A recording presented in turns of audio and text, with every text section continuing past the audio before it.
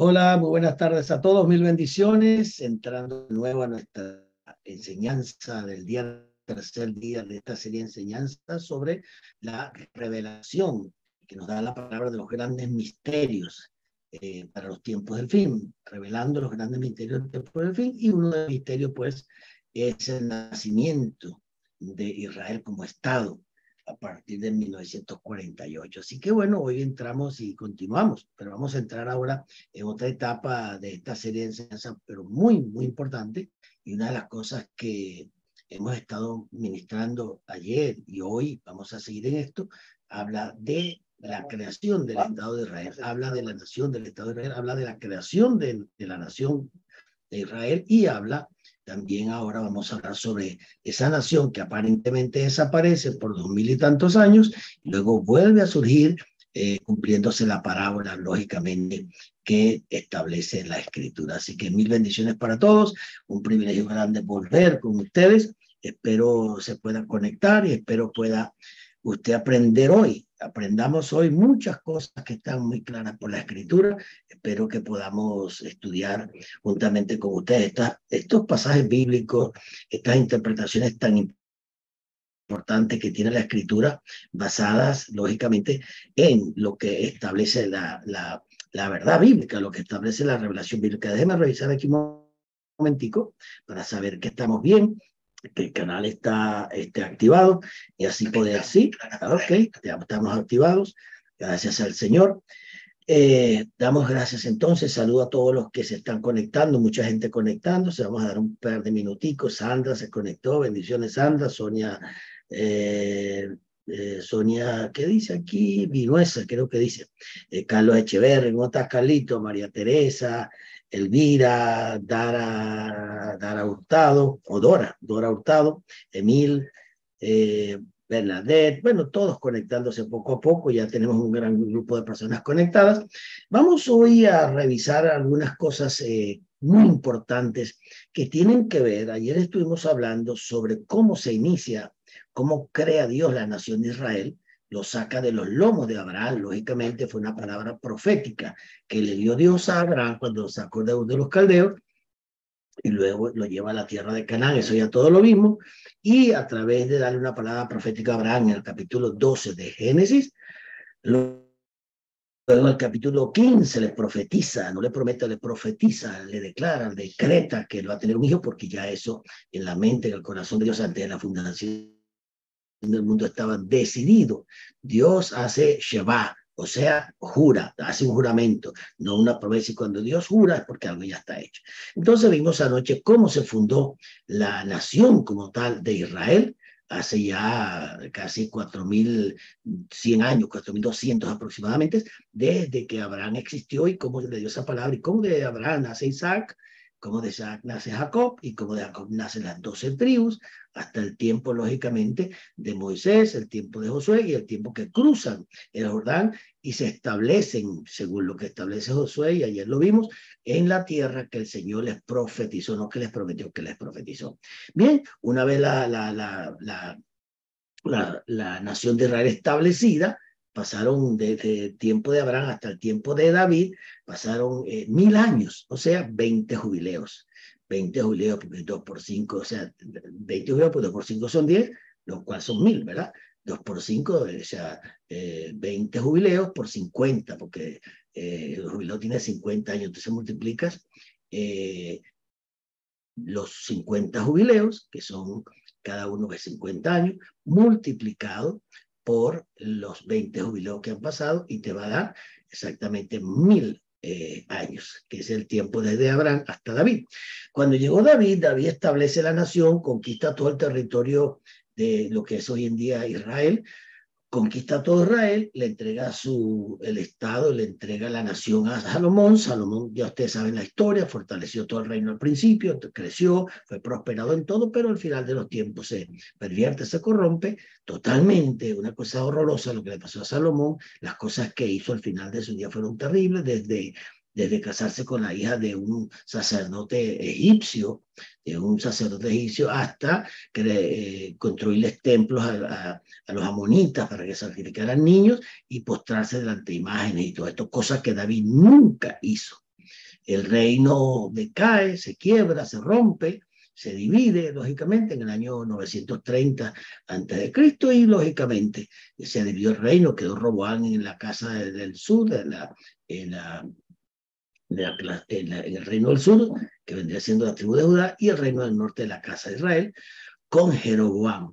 Jeroboam en el reino del norte, Roboam en el reino del sur, y por allí pues hasta se enfrentaron por mucho tiempo, hasta que finalmente los eh, eh, seleucitas del imperio eh, que venía helénico, que se habían apoderado de toda esa región, y vino Antíoco Epífanes IV, tomó Jerusalén, destruyó muchas cosas allí, eh, prohibió leer la Torá, eh, blasfemó y este, se, ¿cómo se llama? Sacrificó una cerda, ni siquiera un cerdo, una cerda en el templo, este, entró una abominación desoladora, capítulo 11 de Daniel, todo donde nos eh, donde eso que hizo Antíoco Epifanes IV, año, año 160 y eh, aproximadamente 100, diríamos 162, 163 más o menos, 64 antes de Cristo. Y esa, esa eh, abominación que hizo en el templo y que hizo en Israel eh, es un, un presagio de lo que era, venía, de lo que iba a ser el anticristo ahora en este tiempo. Si usted observa bien el capítulo 11 de Daniel, y usted revisa la escritura, lo que Daniel profetiza, estaba profetizando lo que Antíoco Epífanes IV hizo, E iba a ser más bien, porque fue el futuro de Daniel, en el año 160 y pico, 64, antes de Cristo. Esto fue terrible, esa, esa abominación. Bueno, eh, Israel es tomada por, por la dinastía asmonía, eh, de ahí vienen todo lo que es este, los macabeos y toda la historia macabea, 400 años de silencio hasta el tiempo en que el Nuevo Testamento pues aparece escrito donde se profetizaba el nacimiento del Mesías, Mateo capítulo 1, y ahí comienza otra vez la historia a reflejarse sobre Israel, que ya había regresado, tenía ya desde Babilonia algunos 400, 500 y pico de años que había regresado a la tierra, pero, pero el arca se había extraviado, no había aparecido, edificaron un templo, reconstruyeron los muros, pero ese templo estaba vacío, básicamente, eh, fue destruido por el templo que fue destruido por Nabucodonosor, 500 en el 597 a.C., y luego se van al exilio a Babilonia, que regresan, pues el templo estaba todo destruido, Edras, Nehemías, este, y toda la gente que vino del, del exilio, eh, trataron de reconstruir la ciudad lo mejor que pudieron y reconstruyeron el templo, pero no había arca. Y eso es lo que consigue Jesús en el tiempo cuando aparece Jesús en su ministerio, que Herodes era rey, había nacido Jesús, pues ya usted conoce la historia del Nuevo Testamento, de lo que sucedió, el tiempo en que Jesús crece, nace, se desarrolla, comienza su ministerio a los 30 años, e Israel estaba bajo dominio que romano. Acuérdese que eh, Roma vence totalmente a los griegos, Roma va tomando todo ese territorio hasta que se apodera definitivamente del territorio a través de Julio César, el emperador, a través de, de Octavio, finalmente toman todo lo que es el territorio de Israel, que fue llamado más, más adelante Palestina, que eso lo vamos a ver mañana, sobre los palestinos, y vamos a terminar sobre el caso de la nación de Israel.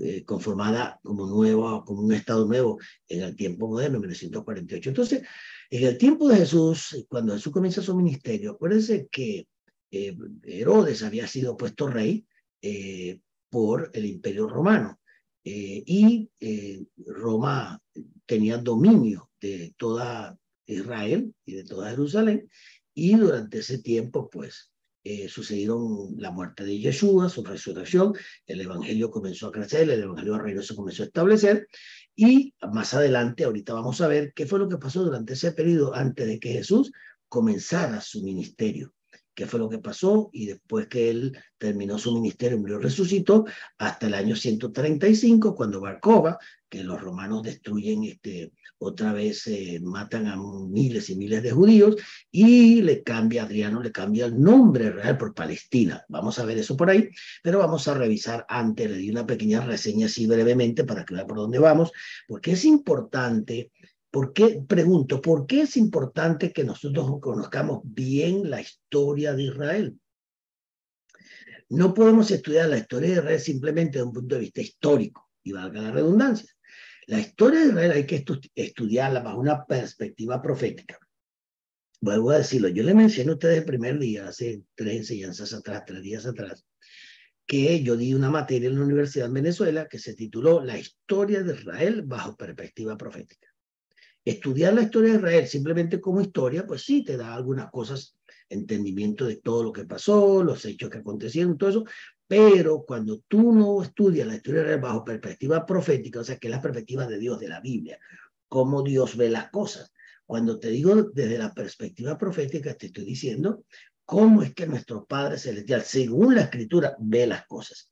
Entonces yo voy a tratar de llevarte poco a poco, como te estoy llevando, cómo es que Dios ve las cosas desde su perspectiva, porque lo revela en la Escritura. Fíjate que ayer yo te mostré cómo eh, a través de Abraham, Isaac, Jacob, y luego las doce tribus, luego vino Josué, tomaron, poseyeron la tierra, expulsaron a todos los cananeos de esa tierra, se apoderaron de la tierra y se conformaron como una nación firme, un estado poderoso ahí, hasta el tiempo después, lógicamente, de David, de Salomón, y para de contar. Entonces, esa es la primera parte y te di una, una hilación eh, eh, profética. Parece que la Biblia es un libro profético. ¿Qué significa eso? La palabra profético ahí significa que Dios a través de la Biblia y a través de su Espíritu Santo te revela su diseño para la tierra lo profético, Dios hablando proféticamente, Dios anunciando la profecía, Dios comunicando cómo Él ve las cosas y cómo fue que sucedieron las cosas en el mundo espiritual, te está hablando de su diseño original. Desde la creación, Él tenía un diseño que Adán abortó por causa de su iniquidad y que poco a poco pues se fue desglosando, se fue revelando lo que pasó desde el tiempo de Adán hasta el tiempo de Noé, que fueron mil años, del tiempo de Noé hasta el tiempo de Abraham, que fueron mil años más, que son dos mil hasta ahí, de, Abraham hasta David fueron mil años más, tres mil años, y de David hasta Jesús, cuatro mil años. Son cuatro mil años y hay que estudiar esos cuatro mil años, qué sucedió durante esos cuatro mil años. Al punto que cuando llegamos a los primeros dos mil años hasta Abraham, allí Dios llama a Abraham y constituye con Abraham, ¿verdad? Da una palabra profética y lo lleva a lo saca de uno de los caldeos del imperio arcadio, lógicamente, y lo trae a la tierra de Canaán, donde le da una palabra profética en Génesis 12 y le dice que van a sacar de él una nación, pero se tiene que circuncidar. Abraham se circuncida porque era un impío, era un, un, este, incircunciso, y al, al, él circuncidarse y hacer ese pacto, no existía Israel, se lo dije, no existía en ese tiempo Israel. Entonces todo el mundo entero era circunciso y Abraham también. Cuando Abraham se circuncida y hace pacto con Dios, Abraham a quién representaba? A Israel, no. Abraham en el momento, preste atención porque el judaísmo y esta gente fanática que no entiende la vida de una perspectiva profética, sino religiosa, te dice muchos disparates que la gente que no domina la escritura no lo ve. Yo te estoy aclarando y te lo vuelvo a decir, lo dije ayer, lo dije anteayer, cuando Dios llama, cuando Yahvé, cuando Jehová, Jehová eh, el Eterno, Yahvé el Eterno, el Padre Eterno, llama, habla con Abraham y lo saca de Ur de los Caldeos y lo envía a la tierra de Canaán, ya allí Dios comienza un plan de establecer un Estado, una nación, porque desde el mismo principio con Adán, que era lo que Dios tenía que, que, Dios quería tener, porque creó Adán para tener una familia sacerdotal, reyes y sacerdotes. Ese fue el plan original de Dios. ¿Cuál fue la idea original de Dios? ¿Cuál fue la idea original de Dios? Si tú miras bien la intención original, porque tenemos varias cosas, tenemos eh, la inclinación original de Dios en su pensamiento, en lo profundo de su corazón, esa es la intención original. Es cuando te vino un pensamiento, Dios pensó, pues dice, mis pensamientos no son vuestros pensamientos, ni mis caminos vuestros caminos, porque así como mis pensamientos son más altos que los tuyos, así también mis caminos son más altos que los tuyos. En otras palabras, te está diciendo, yo tengo un pensamiento, un pensamiento me da un preconcepto, un preconcepto me da un concepto, un concepto me da una idea, una idea me da una ideología, una ideología me da una filosofía, y una filosofía me da una cultura. Entonces, en ese proceso del pensamiento de Dios surge la idea de una familia, de una nación, ¿Qué hace Dios? Crea la tierra como una extensión de su reino. ¿Qué hace Dios? ¿Qué hace el Padre? Crea la tierra y la establece como una extensión de su reino. Pero como la Biblia dice en el Salmo 115, versículo 16, si bien tengo buena memoria para el Salmo, que no quiero equivocarme con ese Salmo porque es muy importante que usted lo, lo, lo sepa y usted lo lea. Vamos a buscarlo para, para eh, como dicen en inglés, double check. Salmo que le dije, Salmo 115, ah, versículo 16, que dice aquí, vamos a ver si es así. Dice, los cielos son los cielos del Señor, pero la tierra la ha dado a los hijos de los hombres. Yo estoy basando lo que le estoy diciendo en lo que dice la Escritura. Y hay muchos pasajes más, pero agregue ese pasaje, Salmo 115, versículo 16. Los cielos son los cielos del Señor, ahí donde está su trono. Pero, y mira, hace diferencia, pero, y te hace la diferencia, pero la tierra la ha dado a los hijos de los hombres. Quiere decir que cuando Dios creó a Adán, ya le había creado la tierra para que el hombre viviera, lo hizo de la tierra, era, claro, espiritualmente tenía el carácter de Dios y la, imagen y semejanza de Dios, o sea, carácter, naturaleza de Dios. Pero lo creó con el polvo de la tierra, para en la tierra, para la tierra y por la tierra. Entonces, Adán, el espíritu de Adán vino de Dios, el espíritu del hombre viene de Dios. Del, del espíritu de Dios, viene de la esencia de Dios. Pero cuando crea la tierra, lo crea y lo coloca sobre la tierra para darle la tierra, ¿qué le va a dar? Le va a dar una casa, un hogar, que es la tierra, un territorio. Y le da leyes, le da principios, le da eh, principios son la base de toda ley. Entonces le da los principios que van a regir. por ejemplo, eh, Mateo 5, 6, 7 y parte del 8 habla de los principios del reino, más llamado el sermón del monte. No, eso no es ningún sermón del monte. Esa es la, el discurso de Jesús, la enseñanza de Jesús son los principios que rigen el reino de Dios. Entonces Dios le entrega al hombre la tierra, que era el Edén, toda la tierra era un Edén, para entenderlo de esa manera, cuando Adán y coloca a Adán sobre la tierra, eh, Génesis 2, para que gobierne, la palabra que la labre, dice ahí, a labrar, muy traducción, la palabra significa para el gobierno que Dios ha entregado lo adore, lo honre y se multiplique y gerencia y administre la tierra. Lo, lo, estableció como rey de la tierra, como señor de la tierra. Así estableció Dios al hombre. El hombre comete iniquidad, comete esta traición en el capítulo 3 de pues, y Dios tiene que expulsarlo por causa de su iniquidad, de su desobediencia, cae de la gracia, pues es expulsado y le dice, ahora de aquí en adelante comerás tú, tú te alimentarás y comerás con el sudor de tu frente todo lo que vas a suplirte y todo lo que vas a comer, todo lo que vas a deleitarte como humano, vas a tener que comértelo con el sudor de tu frente.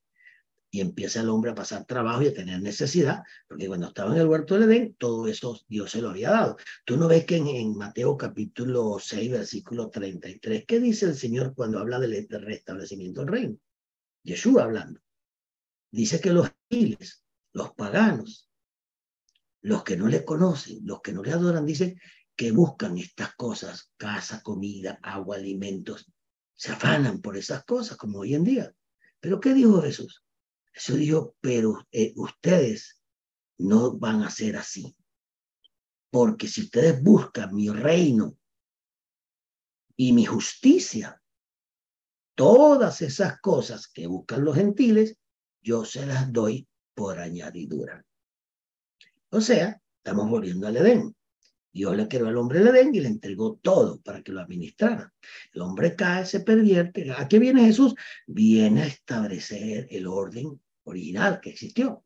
Por eso es que él dice que viene a redimir, a restituir, con visa por re, redimir, restituir, nos hace renacer, restablecedor, de restaurar las cosas, nos restituye todo, todo es con re, re, re, re. ¿Y por qué ese prefijo re en todo lo que tiene que ver con devolvernos el reino, porque el re significa volver al estado original, restituir, redimir. Redimir, por ejemplo, viene de dos términos. Re, que es volver al estado original, y edemer, que, quiere decir eh, devolverte lo que perdiste. Entonces dice, nos vino a redimir. Quiere decir que lo que Adán perdió es lo que Jesús vino a reconquistar para devolvernos de nuevo. Que de tal manera que cuando yo soy salvo y yo recibo al Señor, yo soy restituido no solamente en la posición que estaba Adán originalmente, sino que ahora estoy sentado con él en el trono celestial, porque él es el Hijo del Hombre y está gobernando el universo. Adán no estaba allí, ¿Por qué no estaba sentado Adán en el trono de Dios como está Jesús sentado y nosotros? Porque Adán no pasó la prueba. Adán no era perfecto ni imperfecto, Adán era perfectible. Si Adán hubiese sido perfecto cuando Dios lo creó, no hubiese cometido ni que no hubiese caído, entonces no era perfecto. Sí, porque Adán era perfecto cuando Dios lo creó, no, Adán no era perfecto.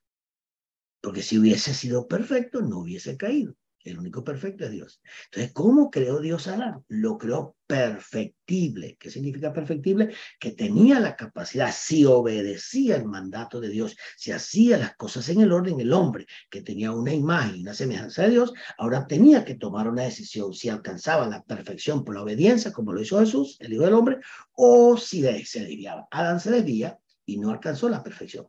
Por eso mató Dios a los animales, los sacrificó y le dio una cobertura a Adán y al hombre por cuatro mil años hasta que viniera Jesús. Los cubrió con pieles de animales y bueno, vino todo ese proceso de Adán, de Caín, todo lo que pasó, vino Noé, vino la destrucción del mundo por causa de la iniquidad, después vino Abraham, de Abraham nació Isaac, toda la, la tribu de Judá, Jacob, la tribu de Judá, para traer al Mesías. Eso tomó 2.621 años para darle la ley mosaica a, a Moisés, para la redundancia en el monte Sinai, y de ahí en adelante unos 1.400 eh, años hasta el tiempo de Yeshua.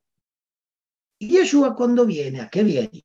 Viene a cumplir todo lo que estaba escrito. Lucas 24, así como estaba escrito en la Torah, en los Salmos, en las Escrituras, todo se tenía que cumplir. Entonces, ¿qué vino eso? A reconquistar la tierra y el reino que Adán perdió. Por eso es que Jesús cuando inicia su ministerio dice arrepentidos y convertidos porque el reino de los cielos se ha acercado. O sea, vengo a restituir otra vez el reino de la tierra, no a fundar una iglesia. Un sistema institucional llamado iglesia. No, somos una iglesia en términos griegos, significa una asamblea. Pero una asamblea no iglesia, porque iglesia es una asamblea democrática sino que es una traducción técnica de la palabra cajal al griego, y bueno, se utiliza la palabra eclesía, pero recuerde que tiene que desambiguarla de la democracia, porque una eclesía es una asamblea democrática, creada por los griegos, como una palabra griega prestada que se está utilizando, que viene más bien del hebreo, la palabra cajal, entonces se utiliza eclesía. ¿Y qué hicieron los católicos? La eclesía la convirtieron en una institución religiosa y mira el caos que hay en el sistema eclesiástico. Es una, el sistema eclesiástico es un sistema paralelo creado por los hombres y por el otro lado, paralelo a que, al reino de Dios. Eso no vino sino a restablecer el reino que perdió Adán. Adán no perdió una iglesia, Adán no perdió el cristianismo, Adán no perdió nada de eso, Adán perdió el reino perdió paternidad, perdió el Espíritu Santo cuando cometió iniquidad el Espíritu Santo, perdió intimidad con Dios, con Dios, perdió identidad de hijo, perdió, este, perdió autoridad, el reino, perdió herencia, perdió propósito divino. Imagínense. Perdió destino profético, todo lo perdió Adán. Entonces, es, Dios le da la, la ley a Moisés para mostrar bajo la ley dice Pablo que todos estamos bajo condenación todos están bajo condenación. Entonces, porque la ley mata y condena, no da vida. Entonces lo encerró todo bajo iniquidad, dice bajo pecado, para que nadie por la ley fuese salvo. Entonces, maldito todo el que está bajo la ley. La Biblia dice que los que están bajo la ley están bajo maldición. Es por eso que cuando el Señor, cuando Pablo da la explicación de Sara y Agar, que somos hijos de la libre y no de la esclava, porque la ley mosaica del monte Sinai producía hijos para qué? Para esclavitud. ¿Y por quién es representada la esclavitud de la ley mosaica. ¿Por quién? Por Agar. Era una egipcia. Y la ley a que venía a condenar a, Egipto, al mundo. Entonces, esa ley, representada por quién? Por Agar, en el monte, dice, dice, la, dice Pablo, que esa ley mosaica en el monte Sinai daba hijos para esclavitud, porque está representada por Agar, la mujer de una de las mujeres de Abraham. Pero en Jesús vendría la libre, que es el hijo de la libre de Isaac, que traería salvación y entonces nos haría hijos de Dios y nos devolvería el reino.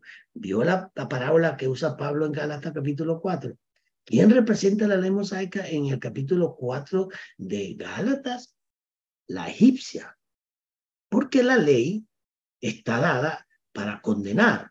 Y esa egipcia estaba bajo condenación, estaba bajo pecado, estaba bajo eh, no estaba bajo pacto. Pero Abraham no tuvo solamente a Ismael, tuvo otro hijo con la libre, que ese da hijos no para esclavitud, sino para salvación. Entonces, mientras viva bajo la ley mosaica, vive bajo maldición porque la ley mosaica condena. Porque está mostrándote a Egipto, el mundo, la egipcia. Pero cuando viene Jesús, que es hijo de la libre, muere y resucita, entonces nos vivifica y nos hace partícipes de la libertad espiritual, nos da una nueva creación y nos lleva y nos sienta en el trono con él. Adán, al cometer iniquidad, cayó de la gracia, perdió el Espíritu Santo, perdió paternidad, perdió entidad, perdió gobierno, perdió herencia, perdió destino profético, perdió propósito todo lo perdió. Cuando nacemos de nuevo, somos restituidos, redimidos, restaurados, renacidos, revivificados. ¡Wow! ¿Y a dónde nos coloca? Sentados en lugares celestiales junto con Cristo Jesús. Eso es reino, eso no es eclesía, eso es reino. Eso es entender la perspectiva de Israel bajo la profecía bíblica. Entonces, entendiendo el plan de Dios con Israel, porque ¿por qué Dios crea a Israel? Israel no existía. Cuando Abraham se circuncida, Israel no existía. Todos nosotros, el mundo entero era qué? Gentil, era qué? Pagano incircuncisos todos. Entonces, cuando Abraham hace pacto con Dios, Dios estaba incluyendo al mundo de aquel entonces, todo completo, lo dio cobertura, y los que nacieran de ese mundo donde estaba Adán estarían bajo ese pacto, porque todos éramos y, todos eran, y éramos, ¿qué? Gentiles, fuera de pacto. Eh, Abraham representó en ese padre de la circuncisión al mundo que existía en ese momento. No estaba Israel, no había, no había creado Israel. Luego, en el capítulo 15, entonces le da la profética a Abraham y le profetiza y dice, por ese hijo le va a dar una, nación, le va a dar una familia y hay una nación de Israel. Aquí hay un pacto de circuncisión y una palabra profética de salvación al mundo entero. Pero en Israel viene una nación que va a dar a luz al Hijo que va a redimir al mundo. Entonces, Israel es representada como nación, como la mujer que va a dar a luz el Hijo del capítulo 12 de Apocalipsis. La que vio José en la visión, capítulo 37 del libro de Génesis, vio un sol, una luna, y te explica lo que vio esa visión, ya te lo voy a mostrar. Y esa mujer del Apocalipsis capítulo 12 que aparece allí es Israel, que da luz el Hijo, que es Jesús y no la iglesia, porque la iglesia no es la que da luz a Jesús, es Jesús quien da luz a, la, a, la, a lo que llaman la iglesia, o sea, al cuerpo de Cristo. ¿Te interesa estudiar y te interesa saber lo que dice la Biblia para este tiempo final? Bueno, más o menos por ahí vamos. Vamos a empezar a estudiar la palabra. Vayamos a nuestras notas. Le doy la bienvenida a todos los que están conectándose. Vamos a ir, ya tenemos algunas 254 personas conectadas. Les agradezco a todos. Haga sus comentarios, por favor. Eh, todo lo que usted pueda. Y este, aquí tengo la última persona que se me conectó, fue Ingrid Pucci, creo que es, que no se conectó antes. Aquí tengo a María Elena Seguro dando los anuncios. Qué bueno, qué bueno. Estamos ya 258 eh, personas tenemos conectadas, aquí aparecen 200. Bien, bien, bien, bien. Vamos entonces a, a, la, a la palabra, vamos a la escritura, muchachos. Vamos a estudiar la palabra. Vamos, al libro de Daniel. Ayer, vamos a retroceder esto un poquito aquí. Ustedes saben que ayer estuvimos hablando, ¿verdad? De la creación de, cuando Josué 23, 1 al 11, reparte toda la tierra, porque ya estaba viejo, entonces les entrega y les dice, les da una palabra profética. Vosotros habéis visto aquí en el versículo 3, vosotros habéis visto todo lo que Yahvé vuestro Dios ha hecho en todas estas naciones por causa de vosotros, pues Yahvé vuestro Dios es el que ha guerreado por vosotros. De aquí yo os he repartido por suertes esas naciones, ¿eh? esas naciones que él conquistó, las siete naciones, las siete ciudades grandes que él conquistó, que aún quedan en herencia para vuestras tribus, quedan en herencia para vuestras tribus desde el Jordán y da, da las medidas y toda la distancia y de todos los pueblos que destruye hasta el mar grande, a Mediterráneo, donde se pone el sol. Wow, ya ve vuestro Dios, las expulsará de vosotros y las desposeerá delante de vuestra presencia, se las quitará a ellos porque son paganos y están, tiene la simiente de la serpiente. Por eso que José habla así, porque todos eran de la simiente de la serpiente, y por eso fue que el Señor los mandó a destruir, porque si no seguiría la serpiente eh, dando hijos, y él tuvo que hacer eso, como lo hizo en el tiempo de Noé. ¿Por qué destruye la generación de Noé? porque toda había sido contaminada con la simiente de la serpiente y preserva a Noé, a su esposa y a sus tres hijos y sus tres esposas para resetear el mundo. Acá en Josué, mire lo que está pasando, tuvo que agarrar esa tierra, sacar a toda esa gente de ahí que eran simientes satánicas para limpiar esa tierra de la, de la pecaminosidad, de la iniquidad, de la maldad, de la simiente satánica, de toda la obra satánica, la mandó a limpiar con Josué, sacó toda esa gente de ahí y estableció su nación al pueblo de Dios para traer una simiente de vida y redimir la tierra y bendecirla. Bueno, en segunda de Samuel vemos como que David tenía ya 30 años, ya cuando pasamos al tiempo de David, que es rey, que establece ya a Israel como nación y dice que comenzó a reinar y reinó durante 40 años. En Hebrón reinó sobre Judá siete años y seis meses. Y en Jerusalén reinó 33 años sobre todo Israel. Quiere decir que reinó 40 años sobre una nación que fundó llamada Israel. ¿Quién la fundó Dios? Quiere decir que el pueblo de Israel, desde el tiempo de Abraham hasta ahora, van 4.200 años, 4.100, 4.200 años, hasta ahora. Y desde el tiempo de David, David fue mil años antes que Cristo.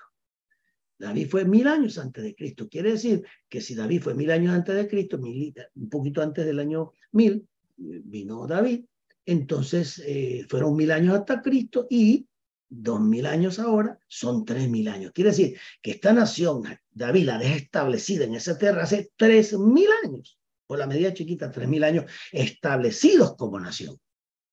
Entonces, esa tierra le pertenecen a la nación de Israel, la nación que Dios creó por propiedad entregada por Dios, por separación y entrega divina esa tierra para traer sobre esa tierra la simiente, la simiente del Mesías, ahí mismo en la ciudad que usted está viendo aquí, que yo tengo aquí atrás. Ahí yo estuve hace poquito, hace seis meses. Y usted se, se camina de ahí, donde está el, el, el, el, muro de las lamentaciones. Y camina, se mete por toda la ciudad vieja de Israel de, Jerusalén, perdón, y llega ya al Monte Calvario, donde está la tumba, y ahí está el Monte Calvario, y se fue crucificado. Entonces, esto todo tiene una, e, esa, esa, esa, ese cumplimiento profético del Monte Calvario está profetizado. ¿Desde cuándo? ¿Desde cuándo fue profetizado que el Mesías moriría ahí? Desde Génesis capítulo 3 versículo 15. La simiente de la muerte va a ir en calcañar. La simiente de la muerte es el Mesías. Y le dice a, Satanás, y tu simiente la herirá en el talón, en el calcañar. O sea, en la carne, en el cuerpo, en la nación física.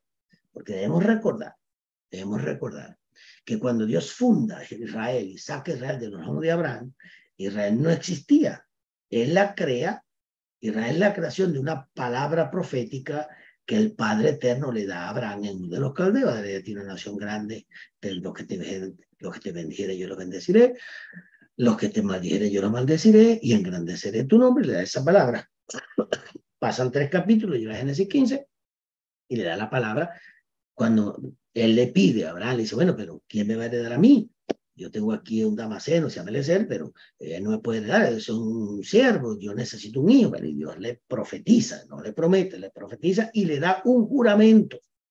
Si tú quieres saber si es un juramento o no, tú abres la Biblia así como lo estoy abriendo yo, busca aquí, busca el capítulo, este, busca el capítulo 6 de, de, del libro de Hebreos y empieza a leer entonces comienza aquí a hablar de Jesús, de la enseñanza, capítulo 6, sigue leyendo, te vas al versículo 13 aproximadamente, sigue leyendo todo esto, todo esto por aquí, ¿verdad? Hasta que llegas a la certeza de la del juramento que Dios le hizo. Dice, versículo 13, pues cuando Dios hizo la, dice la promesa a Abraham, ¿eh?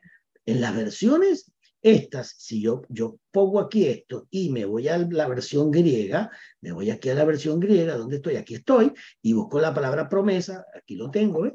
Yo me estoy, déjeme decir, lo puedes ver, porque esto está medio, eh, está difícil por, por el teléfono en negro, no se ve, ahí está, ¿ves? Ahí estoy, un poquito se ve. Entonces ahí dice, porque prometiendo Dios a Abraham, me dice prometiendo, vamos a ver cuál es la palabra prometiendo. Tengo aquí los numeritos, toco la palabra y es la palabra epagelo en griego. Dice, me da la raíz y dice de la base de, entonces dice anunciar sobre algo, un anuncio sobre algo. Por implicación, envolverse en hacer algo, acertar sobre algo, este, profesar algo, es, esa es la palabra correcta. Al final ponen promesa, pero eso fue añadido por los copistas. Esos son eh, libros de, hombres en este tiempo y ponen promesa, pero la palabra original significa el anuncio profético, un anuncio profético que viene de la palabra que Sheba, que significa un juramento o un anuncio profético. Entonces, volviendo al tema en que estoy, te vas aquí a Hebreos nuevamente, te vuelves a meter aquí en la, versión normal de la Biblia, no en la griega, y dice entonces el versículo 13, te vuelvo a decir lo que dice, para que nos vayamos poniendo a tono con la palabra. Dice el versículo 13, pues cuando Dios hizo el juramento, dice la versión textual, dice el juramento, déjame ver si la consigo aquí un momentico y te la muestro. ¿Por qué? Porque esta versión este, de Hebreos nos aclara dónde estoy, hebreo, hebreo, hebreo, hebreo, aquí estoy, capítulo 6, aquí lo estoy buscando, capítulo 8, capítulo 6, versículo 13, versículo 13, aquí estoy 11, 12, 13. ¿Ve? Aquí aparece la palabra nuevamente, por, déjame buscártela aquí, déjame marcarte el versículo eh, para buscártela en la versión donde aparece la versión correcta de dice, porque todas dicen, la mayoría dicen promesa, pero hay una versión que la traduce correctamente, eh, versículo 13, ajá, dice, eh, eh, juró Dios a Abraham, la palabra correcta es jurar, nunca, nunca prometer, nunca prometer, la versión correcta es jurar. es difícil porque casi todas las versiones la traducen prometer, la traducen prometer, pero no es una promesa, es un juramento lo que Dios hace con Abraham, un juramento. Y esto es una cuestión complicada porque si una Biblia pone promesa antigua, entonces todas ponen promesa porque no investigan. Entonces es una cuestión difícil. Yo encontré aquí una versión, la estoy tratando de conseguir a ver si donde aparece la traducción correcta, pero no la consigo. Eh, ¿Dónde está? Estoy buscándola acá porque hay una versión que habla de de el juramento que Dios hizo. En muchas versiones aparece, pero no en todas. No la consigo acá, pero la palabra que aparece del griego, que la tengo aquí, la palabra que aparece del griego, aquí dice, aquí la tengo, déjeme ver si me aparece, se frizó esto. Déjame un segundito. ¿Dónde estoy? Acá, 6, 6, 6 1, 18. Oiga, pero esto sí está lento, Dios. Eh, Aquí está el paguelío. Aquí está. Entonces, déjame ver cómo se las muestro ahora. Eh, déjeme mostrarle aquí. ¿Dónde estoy? Aquí. Déjeme salirme y ahora entrar ahora a la Biblia que yo estoy viendo aquí. Aquí la tengo. Se la muestro aquí y se la pongo en pantalla. Aquí la tiene. ¿Ve? ve aquí abajo, ve aquí abajo. Mire, aquí está la palabra epaguelo, que es la palabra que está aquí. Si usted la mira aquí, dice promesa, ¿verdad? Y tú la aquí, mire, le aparece el, el, verbo, le aparece aquí abajito. Mire el cuadrito, dice epagelío, ¿verdad? Y dice, pero está en inglés, se la leo aquí abajo, epagelío, míralo aquí abajo. To announce that one is about to do or uh, furnish something anunciar que alguien está por hacer algo o completar algo. Eso es lo que es un anuncio profético. ¿eh? Entonces dice prometer este, en un acuerdo, pero dice más bien to engage voluntariamente. Esta palabra es una palabra deducida de, esa, de ese término por cuenta de un tipo que dice que eso significa promesa, pero es profesar y es anunciar. La palabra de pagelía, que es la traducción que tienen de dónde, la traducción viene de dónde? Del hebreo. ¿Y cuál es la palabra hebrea original que aparece? Dice que Dios le dio a Abraham un juramento. Le hizo un juramento, habiendo jurado a Abraham, que aparece en, otros versículos de hebreo. Entonces es importante la diferencia entre prometer y jurar.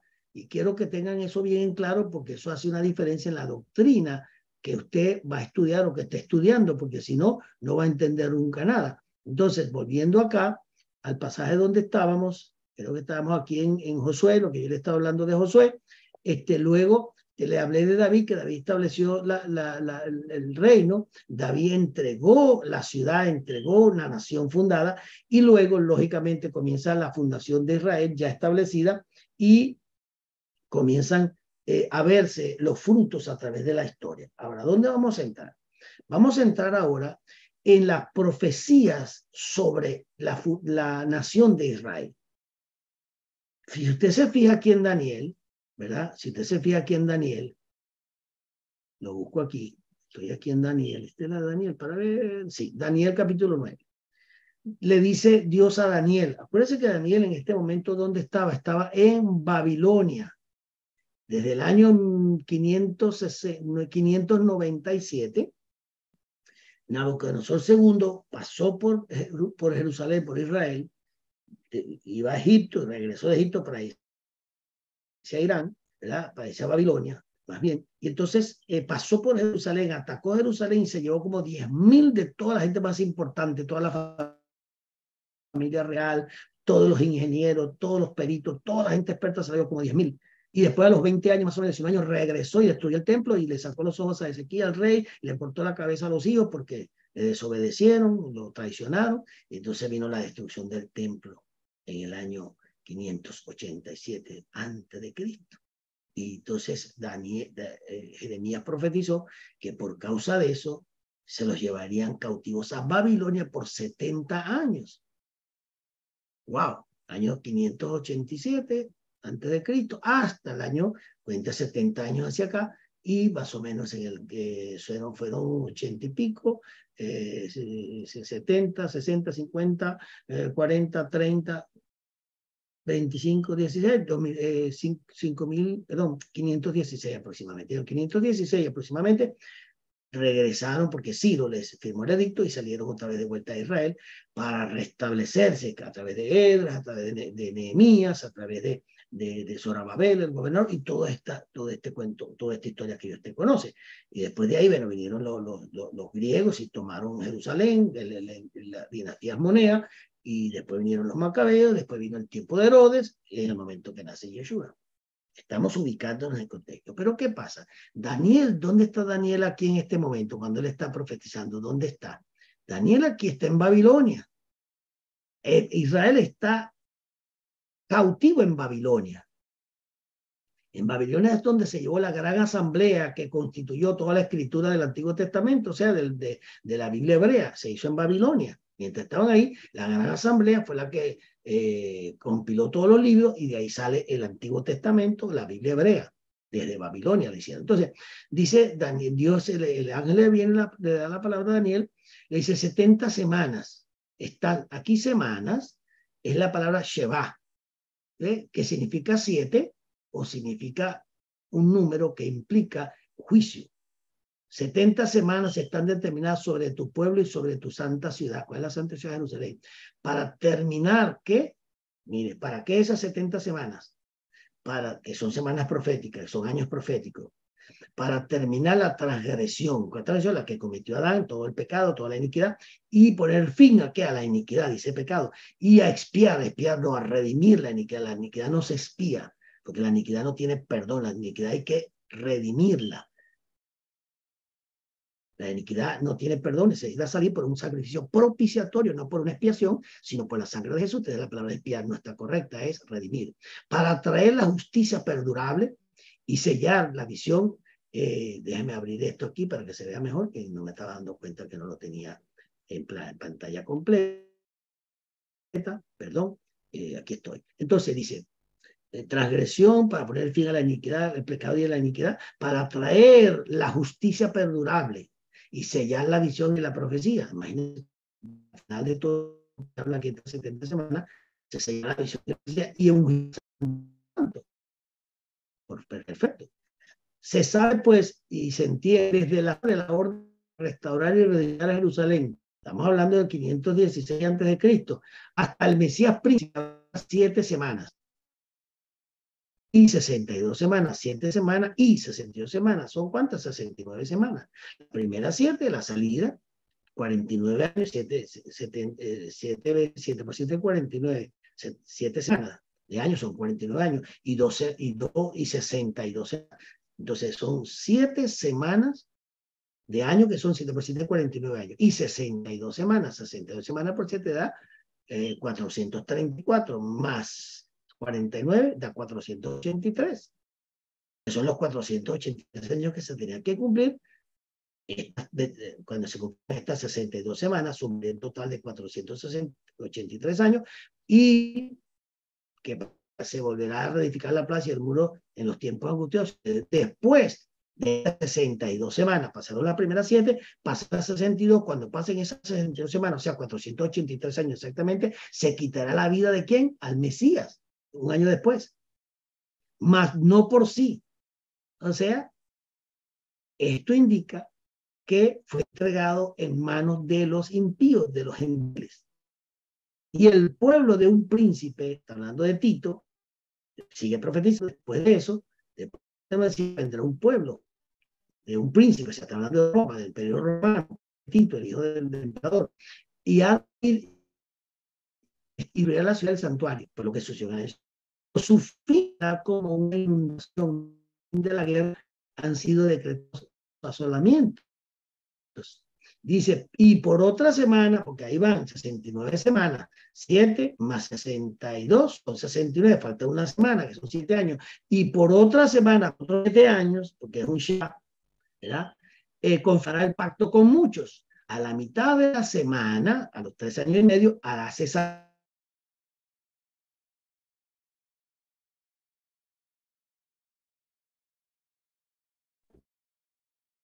que se me, se me apagar esto aquí. Si estoy conectado, déjeme verme aquí porque un movimiento conectado, ¿verdad? Se me hizo algo raro ahí, se me, apagó y ahora vuelvo. Ok, ya estoy bien. Estoy todavía conectado, perfecto. Entonces, vemos aquí que se me fue la, la lámina, se me fue la lámina y aquí al final está hablando de la semana 70. ¿Cuándo se va a iniciar esta semana 70? Estamos a ley déjeme decírselo acá, estamos a ley de, estamos en,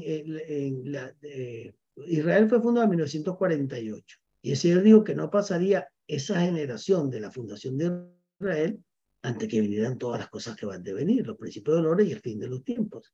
Entonces él dijo que cuando llegara, vieran a la higuera florecer, que vamos a ver que es la nación de Israel, renace la nación de Israel, y se establece que en el año 1948 cuenta entre 70 y 80 años, que es una generación, en el 2018 dio 70 años, quedan 10 años. Quiere decir que el tiempo descrito por Jesús, faltan, ya se cumplieron 5 años más, faltan 5 años para el 2028 porque en el 2028 se, se cumplen los 80 años de la fundación o restauración de Israel como nación. O sea que estamos a ley de cinco años. ¿Para qué? Para que comiencen todos los eventos de ese pacto que se va a firmar ahí, del anticristo, y comience la semana 70 de Daniel. Así mismo como te lo estoy diciendo, así lo dice la escritura. Entonces, esto es importante que lo manejemos con mucho cuidado porque esto nos va a dar mucho entendimiento. Entonces, aquí lo tienes bien clarito. Vamos a la, a la lámina que viene ¿Qué estamos hablando aquí? Bueno, aquí estamos hablando ahora de la fundación de Israel, del Israel moderno de 1948. Vamos a ver cómo fue que se dio esa fundación, porque aquí hay una profecía que está aquí en Mateo 24, 32, que habla de la higuera.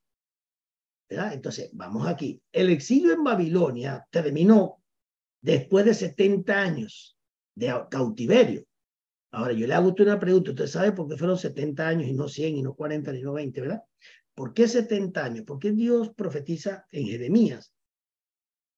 Jeremías profetizó que la nación de Israel, su nación, iba a ir a Babilonia por 70 años. ¿Por qué 70 años? Porque Israel, desde Levítico 25 y 26, Dios le habló a Israel y le dijo que tenían que descansar la tierra un año, cada siete años. O sea, trabajaban el primero, segundo, tercero, cuarto, quinto, sexto año y en el séptimo año descansaban la tierra. Cada siete años descansaba la tierra. Cada siete años que empezaba el séptimo año tenía que descansar la tierra. Ellos no cumplieron esa palabra.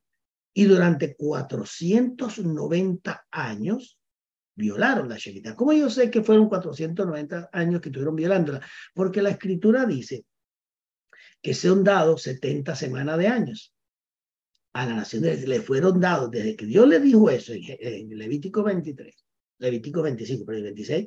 ¿Cómo yo sé que son 490 años? Porque le dice 70 semanas de años le son dadas a, a, Israel, a la, gran, a la gran ciudad.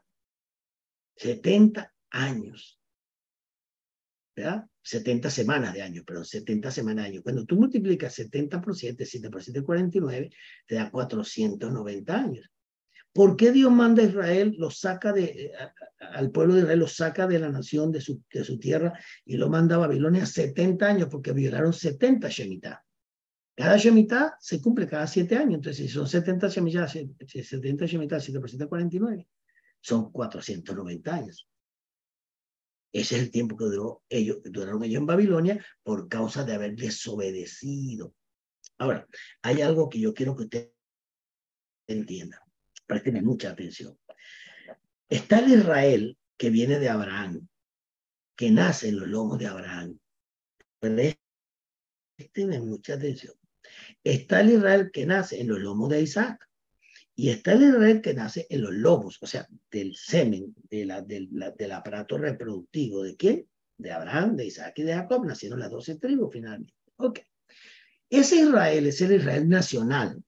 Es el Israel que Dios crea de la nada, lo crea, crea ese pueblo de, un hombre como se llama, se llama el padre de la nación hebrea, que es Abraham, lo crea, porque él le creyó a Dios, le fue contado por justicia, entonces cimentó la palabra que Dios le dio a Abraham en la justicia, en su justicia.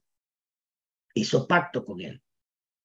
Hizo un pacto de la circuncisión y también se le apareció en un horno ardiente y una antorcha encendida, que era el padre y el hijo, lo hicieron dormir, él mató los animales, lo hicieron dormir y ahí se hizo, se selló el pacto del hijo de Dios con Abraham dormido, porque Abraham estaba dormido, porque se durmió Abraham, porque el hombre está muerto.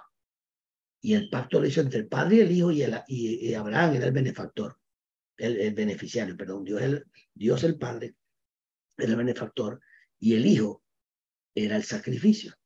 Y Abraham era el beneficiario, toda la descendencia de Abraham. Entonces, en ese pacto que se hace allí, eh, apareciendo la nube, apareciendo, perdón, el horno encendido y la antorcha encendida cuando Abraham mata a los animales, que espantaban los animales para que no se comieran el sacrificio, entonces descendió un fuego que consumió aquello, pero Abraham estaba dormido.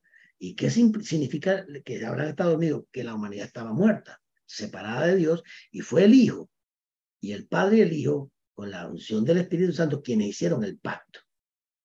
Fue un pacto hecho por el Padre, el Hijo y el Espíritu Santo ahí. De tal manera que ya el hombre, por causa de su caída y de quedar separado, como estaba Abraham ahí dormido, como muerto, pues. Es, Abraham dormido significa la humanidad muerta, separada de Dios. Jesús se activa como el hijo del hombre, como el hijo de Dios se activa para ser el hijo del hombre y venir a la tierra a rescatar al hombre, que está muerto, como Abraham estaba dormido, está muerto y lo va a revivir lo va a revivir. Y eso fue lo que sucedió del Calvario. Jesús asume toda la iniquidad del hombre y, se levanta como la serpiente en el desierto, él dijo, Juan 3, 14 y 15.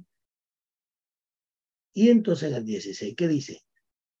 Habla del amor de Dios para todo aquel que cree sería salvo. Entonces ahí comienza el proyecto de Dios entre una nación física de Abraham, Isaac, Jacob, doce tribus. De una tribu llamada Judá traería al Mesías. El plan de esa nación era traer el Mesías de Génesis 3.15, que Dios había profetizado, no prometido, de que de la simiente de la mujer vendría el Mesías, el descendiente. El problema es que la mujer no tiene simiente, sino el hombre. Entonces, ¿por qué Dios dijo de la simiente de la mujer? Nacerá el redentor del mundo la simiente de la mujer te herirá en la cabeza, te quitará la autoridad. Pero si la mujer no tiene simiente, entonces ¿por qué Dios dio la simiente de la mujer? Porque la mujer no sería, no concebiría de hombre, de ser humano común, pecaminoso, caído de la gracia. Porque si María y José, o Miriam y José tuvieran una relación para tener a Yeshua, Yeshua hubiese nacido bajo condenación igual que tú y que yo, bajo iniquidad. Entonces tenía que ser el vientre de una mujer pero tenía que ser la sangre de Dios en un cuerpo humano. cuando el ángel da la palabra, Gabriel, a Miriam, llamada María por los católicos, ella concibe del Espíritu Santo, pero el óvulo que le coloca Dios Padre a Miriam en el vientre es un óvulo fecundado que traía al Mesías a Jesús, pero que iba a ser de carne y hueso, pero que no se iba a contaminar con la sangre de Miriam, porque ella también estaba, necesitaba salvación. Entonces fue como una incubadora donde Dios puso la sangre, que la misma sangre que le puso a Adán antes de cometer iniquidad, es la sangre de Dios que Dios le dio a Adán. Esa misma sangre se la puso en el vientre de María y a través del proceso de osmosis para alimentar el bebé en la placenta, Jesús se alimentó y fue creciendo, pero la sangre del bebé, según la, cuando estudias hematología y estudias la parte de embriología que tiene que ver con la mujer y, el nacimiento del bebé, entonces el cigote, le llaman cigoto, cigote, algo así. Es, eso sucede que la, la, la, sangre de la mujer no se mezcla con la del niño, sino que por unos conductos y por un proceso llamado el proceso de osmosis, el niño se alimenta, pero la sangre del niño no se mezcla con la de la madre. Parece que la sangre de Miriam estaba bajo maldición. Y el vientre que tenía, el niño que tenía, era concebido por el Espíritu Santo. Por eso yo digo en Génesis 3.15, la simiente de la mujer te herirá en la cabeza porque usaría a una mujer, usó a Adán para acercar a la humanidad, y Dios usó a una mujer también, a Miriam o María, lo llaman los católicos, para que le sirviera para poner ese óvulo fecundado por Dios mismo, con la sangre de Dios, ese niño que nacería. Cuando Jesús nace, no nace de voluntad de varón, ni de sangres, dice el Nuevo Testamento ni de sangre, o sea, ni de José ni de María, ni de sangre, no, sino que nació por la sangre de Dios. La misma sangre que tenía Adán antes de pecar, antes de cometer iniquidad, fue puesta en el Mesías. Cuando el Mesías nace, nace sin pecado. Por eso él dice, ahora viene el príncipe de este mundo y él nada tiene en mí, dijo Jesús. Ahora viene el príncipe de este mundo y él nada tiene en mí. Jesús no nació bajo maldición. Jesús nació por obra y gracia del Espíritu Santo, y María concibe del Espíritu Santo a ese niño, que era un santo ser, porque la, dice que, que vino sobre ella la gloria de Dios, la cubrió la gloria y quedó embarazada por el Espíritu Santo y, y es concebido Yeshua, y Yeshua se desarrolla, crece, cuando nace, nace sin iniquidad, nace sin pecado, nace sin rebelión, perfecto en el sentido de no pecado, pero en el sentido del cuerpo, oído, tenía que ser como Adán. El primer Adán no era perfecto, era perfectible. Y el segundo Adán, ¿cómo era? Jesús, el Hijo del Hombre. Bueno, que dice Hebreos capítulo 5, versículo 7. Dice, al que no conoció pecado, por nosotros lo hizo pecado. Lo hizo iniquidad. ¿Para qué?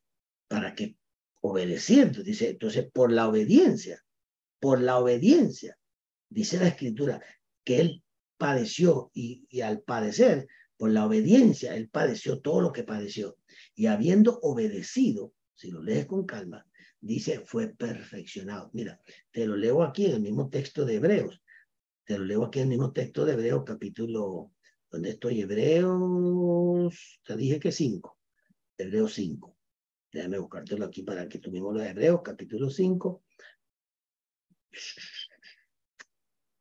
para atrás, capítulo 5, versículo 7. Mira cómo dice, Cristo en los días de su carne, habiendo ofrecido oraciones y súplicas con gran clamor y lágrimas al que lo podía librar de la muerte, fue oído a causa de esto. reverente. Escucha, versículo 8. Aunque era hijo, el hijo de Dios, pero vino a ser el hijo del hombre, ahora estaba en la carne. Aprendió obediencia, que tuvo que aprender obediencia. Entonces, si tuvo que aprender obediencia, no era perfecto, era perfectible. Tuvo que aprender obediencia por lo que pasó. Estamos hablando del Hijo del Hombre, no del Hijo de Dios. El Hijo de Dios es el que es eterno. El Hijo del Hombre es en lo que él se convierte cuando asume un cuerpo humano y se despoja, sufre una kenosis y se despoja de todos sus atributos divinos. Filipenses capítulo 2, versículos 5, 6, 7.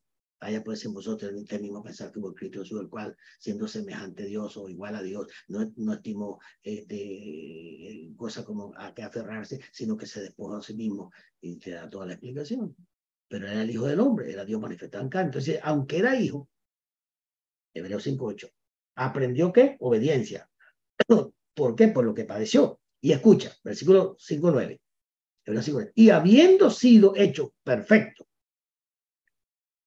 ¿Cuándo fue hecho perfecto? Cuando obedeció. y cuando aprendió. Porque Adán no fue hecho perfecto porque Adán cometió iniquidad. Y en vez de hacerse perfecto, se contaminó y se hizo mortal y se hizo inicuo. Jesús, siendo humano, 100% humano y 100% Dios, recibe la iniquidad nuestra. Sufre, padece. Y dice que por lo que padeció aprendió la obediencia se hizo iniquidad, muere por nosotros, el Padre lo resucita y ahí cuando lo resucita lo hace perfecto como el Hijo del Hombre. Cuando resucita, eso es el Hijo del Hombre otra vez, pero ahora perfecto, porque él obedeció. Adán murió y no se hizo perfecto nunca, cayó. Jesús, Adán muere porque desobedece y Jesús muere porque obedece. Adán muere porque desobedece. Jesús muere en el Calvario porque obedeció, fue por nosotros. Se hizo iniquidad. Cuando va al infierno tres de noche y el Padre lo resucita, fue perfeccionado. Dice aquí, habiendo sido hecho perfecto, vino a ser fuente de eterna salvación. Cuando después de la resurrección fue perfeccionado porque nunca cometió iniquidad, la iniquidad fue la nuestra. Fue perfeccionado para que todos los que, para que, todos los que lo obedecen, siendo constituidos por Dios como sumo sacerdote, según el orden de dice ahí se convirtió en sumo sacerdote. Entonces, es entender esto, es entender de dónde sale Israel. ¿Qué es lo que está hablando Dios aquí? Observe. Dice que el exilio de Babilonia, ¿verdad? Dios lleva a este pueblo a Babilonia porque habían desobedecido la Shemitah que tenían que guardar por, por 70 Shemitah, son 590 años. Y se los profetizó con Jeremías. Israel va a ser llevado 70 años a Babilonia por causa de su desobediencia, sacrificaban niños, andaban en idolatría, horroroso lo que hizo Israel. Y dice Jeremías que Dios ahí, en el capítulo 3 de Jeremías, le dio carta de divorcio porque habían quebrantado el pacto. Y el Israel que conoce Jesús, el Israel, el Israel, el pueblo de Israel que trata con Jesús en su ministerio, al que Jesús enfrenta y quienes enfrentan a Jesús, es un pueblo que perdió el pacto que tenía en el momento que enfrentan a Jesús. Jesús los llamó hijos del diablo. Ustedes son todos unos hijos del diablo, le dijo. ¿Por qué? Porque habían perdido el pacto. Vuelvo a decirlo, en el tiempo que Jesús viene a la tierra y llega a Israel y empieza su ministerio, Israel estaba caído. Lo dice aquí Jeremías capítulo 3, Jeremías capítulo 3 lo dice, miren, aquí está. Yo no, yo no ando inventándome cosas. Jeremías capítulo 3, versículo 8 dice, y vio que a causa de todos los adulterios de la, de la infiel Israel, yo la había despedido, dándole carta de divorcio con todo. Su rebelde hermana Judá no tuvo temor, sino que también fue y se hizo ramera. Yo no sé si estoy leyendo la escritura. Vaya, búsquelo ahí, busque Jeremías capítulo 3.8. Llama a la prostituta y la prostituta que eran el verdadero Israel, los dos. Y dice, y vuelvo a leerlo, y vio Dios que a causa de todos los adulterios de quién, de Israel y de Judá, de la infiel Israel y de su hermana Judá. Yo la había despedido, yo la había despedido dándole carta de divorcio. Dios le dio carta de divorcio porque quebrantaron el pacto. Ese pacto del monte Sinai ellos lo violaron y quedaron sin ley. Quedaron fuera del pacto también, igual que nosotros. Es por eso que dice Romanos capítulo 3, se lo leo, ahora lo va a entender, Romanos capítulo 3, me voy aquí a Romanos capítulo 3, versículo 20, 3, Romanos 3, 23, aquí estoy. Por cuanto todos pecaron, judíos y gentiles, todos cometieron vida y no alcanzaron la gloria de Dios, ni, ni ellos ni nosotros. Ellos porque tenían un pacto y lo rompieron, nosotros porque no teníamos pacto y estábamos alejados de Dios, o sea que quedamos todos en la misma situación. Y si se lee el capítulo 3 ahí, el versículo 21, dice, pero ahora, aparte de la ley, la justicia de Dios ha sido manifestada, confirmada por la ley y los profetas. ¿Cuál es? Esta justicia de Dios por medio de la fe en Jesucristo. Es para que todos los que creen, porque no hay distinción, o sea, entre judíos y gentiles no hay distinción, por cuanto todos, judíos y gentiles, porque si tú ves al principio del capítulo, te lo está explicando, yo tengo un contexto muy claro, defensa de la justicia de Dios, cuál es entonces la ventaja del judío o cuál es el beneficio de la circuncisión dice Pablo, grandes en todo sentido. En primer lugar, dice, porque a ellos, a Israel, se les ha sido confiado los oráculos, o sea, la palabra profética. Entonces, ¿qué? Si algunos fueron infieles, ¿acaso su infidelidad anulará la fidelidad de Dios? De ningún modo. Antes bien, se ha hallado Dios veraz aunque todo hombre sea hallado mentiroso. Como está escrito, para que seas justificado en tus palabras y venzas cuando seas juzgado. Pero si nuestra injusticia, está hablando de Israel, resalta la justicia de Dios, ¿qué diremos? ¿Acaso es, es injusto Dios que expresa su ira y habló en términos y hablo en términos humanos de ningún modo, pues o de otra manera cómo jugaría Dios al mundo, pero si por la mi mentira la verdad de Dios abundó para su gloria, porque también soy yo aún juzgado como pecador, porque no puedo y no por no decir cómo nos calumnia y cómo nos, nos, nos, algunos afirman que nosotros decimos hagamos el mal para que venga el bien, la condenación de tales es injusta. Entonces comienza Pablo a hablar, pero cuando llega al versículo 9 comienza a explicar entonces que somos nosotros mejor que ellos, de ninguna manera, que los gentiles, porque ya hemos denunciado que tanto judíos como griegos, gentiles, están bajo iniquidad. Tanto judíos como gentiles, dice, están bajo iniquidad, bajo pecado. Como está escrito, no hay justo ni a uno, o sea, ni en los judíos ni en los gentiles, porque los judíos quebrantaron el pacto y nosotros no teníamos pacto, quedó todo el mundo fuera. No hay quien entienda, no hay quien busque a Dios. Todos se han desviado, judíos y gentiles, aún se hicieron inútiles. No hay quien haga lo bueno, no hay quien ni siquiera, ni siquiera un sepulcro, dice, hablando de los judíos, abierto es su garganta, engañan con, continuo con su lengua, veneno de serpientes hay bajo sus labios, llena de, está su boca de maldición y amargura, sus pies son veloces para derramar sangre, destrucción y miseria en su camino. Está hablando de Israel y las sendas de paz no han conocido. ¿Quién? Israel. No, han, no hay temor de Dios delante de sus ojos. Ahora Bien sabemos que cuanto dice la ley lo dice a los que están bajo la ley, los judíos, para que toda boca se calle y todo el mundo sea hecho responsable ante Dios. Porque por las obras de la ley ningún ser humano se, será justificado delante de él, pues por, por, medio de la ley viene el conocimiento de la iniquidad, del pecado. Entonces dice, pero ahora, aparte de la ley, la justicia de Dios ha sido manifestada, confirmada por la ley y los profetas, esta justicia de Dios por medio de la fe es Jesucristo. Es para todos los que creen, porque no hay distinción entre judíos y gentiles, ya no la hay, por cuanto todos cayeron, pecaron, cometieron iniquidad y no alcanzaron la gloria de Dios. Todos son justificados, pero ahora todos son justificados gratuitamente, judíos y gentiles, por su gracia, por medio de la redención que es en Cristo Jesús, a quien Dios exhibió públicamente como propiciación que es para, para quitar por su sangre a través de la fe, como lo demuestra totalmente su justicia, porque en su tolerancia Dios pasó por alto los pecados cometidos anteriormente, la iniquidad, para demostrar en este tiempo su justicia a fin de que Él sea justo, el que justifica, el que tiene la fe en Jesús. ¿Dónde está pues la jactancia? Queda excluida. ¿Por cuál ley? La de las obras. No, sino por la ley de la fe, porque concluimos que el hombre es justificado por la fe aparte de las obras de la ley. No, hermano, eso está muy claro. Eso está muy claro. ¿cómo? ¿Cuál es el Israel que yo quiero que usted entienda? Hay un Israel que Dios crea para traer al Mesías, que es el Israel nacional, el que usted ve ahí peleando ahorita una guerra. Por ese Israel, antiguamente vino la tribu de Judá y vino el Mesías. Pero ese Israel que usted está viendo no es salvo porque, porque nace en Israel, en Israel. Un tipo, un hombre que nace en Israel es un israelí, no un israelita. Pablo dice, no todo el que nace en Israel es israelita. Entonces, ¿qué es? Bueno, es un, un israelí. Un israelí no es un israelita. Y como yo lo sé, porque dice que cuando llegó Jacob, que peleó contra el ángel, y venció, Dios le cambió el nombre y le puso príncipe, le puso Israel.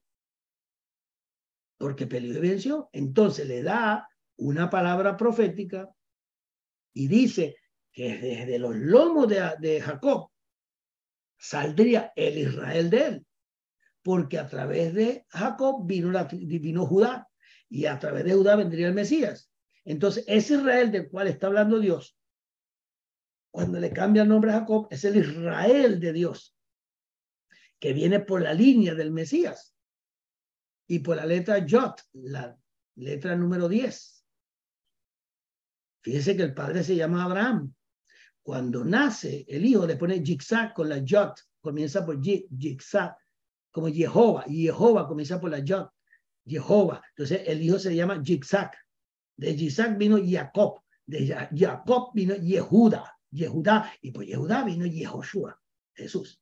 Si se da cuenta, todos los nombres redentivos que van apuntando a Jesús comienzan por ya, desde Jehová, y, Isaac, Jacob, Yehudá, Yeshua. Es una línea por donde viene el Salvador, por donde viene el Mesías. Entonces, entendiendo esto, lo que está aquí te dice que en Babilonia el exilio terminó después. Escuche esto. Después, dice, permítame un momento, que el exilio en Babilonia terminó después de 70 años, como lo había profetizado ¿quién? Jeremías, ¿verdad?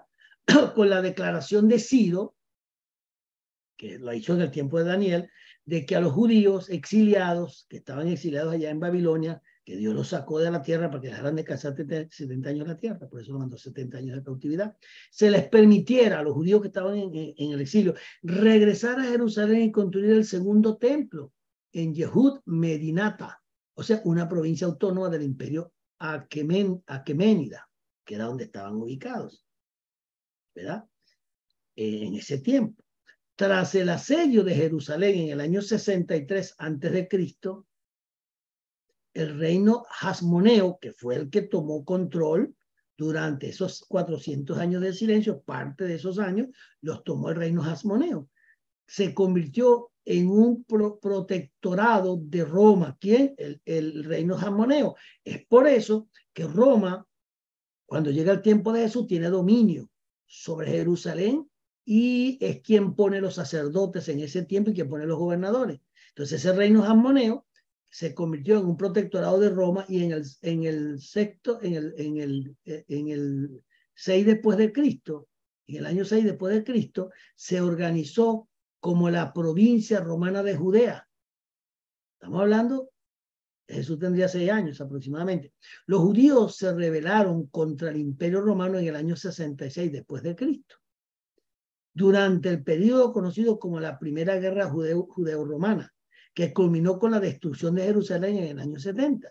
Durante el asedio, los romanos destruyeron el segundo templo, que Jesús dijo que se iba a destruir a través de Tito, mandaron a Tito y lo destruyeron.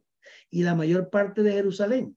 Este evento marcó la destrucción del templo, el segundo templo, año 70 después de Yeshua, marcó el inicio del, del exilio romano. Marcó el inicio del exilio romano. ¿Qué indica esto?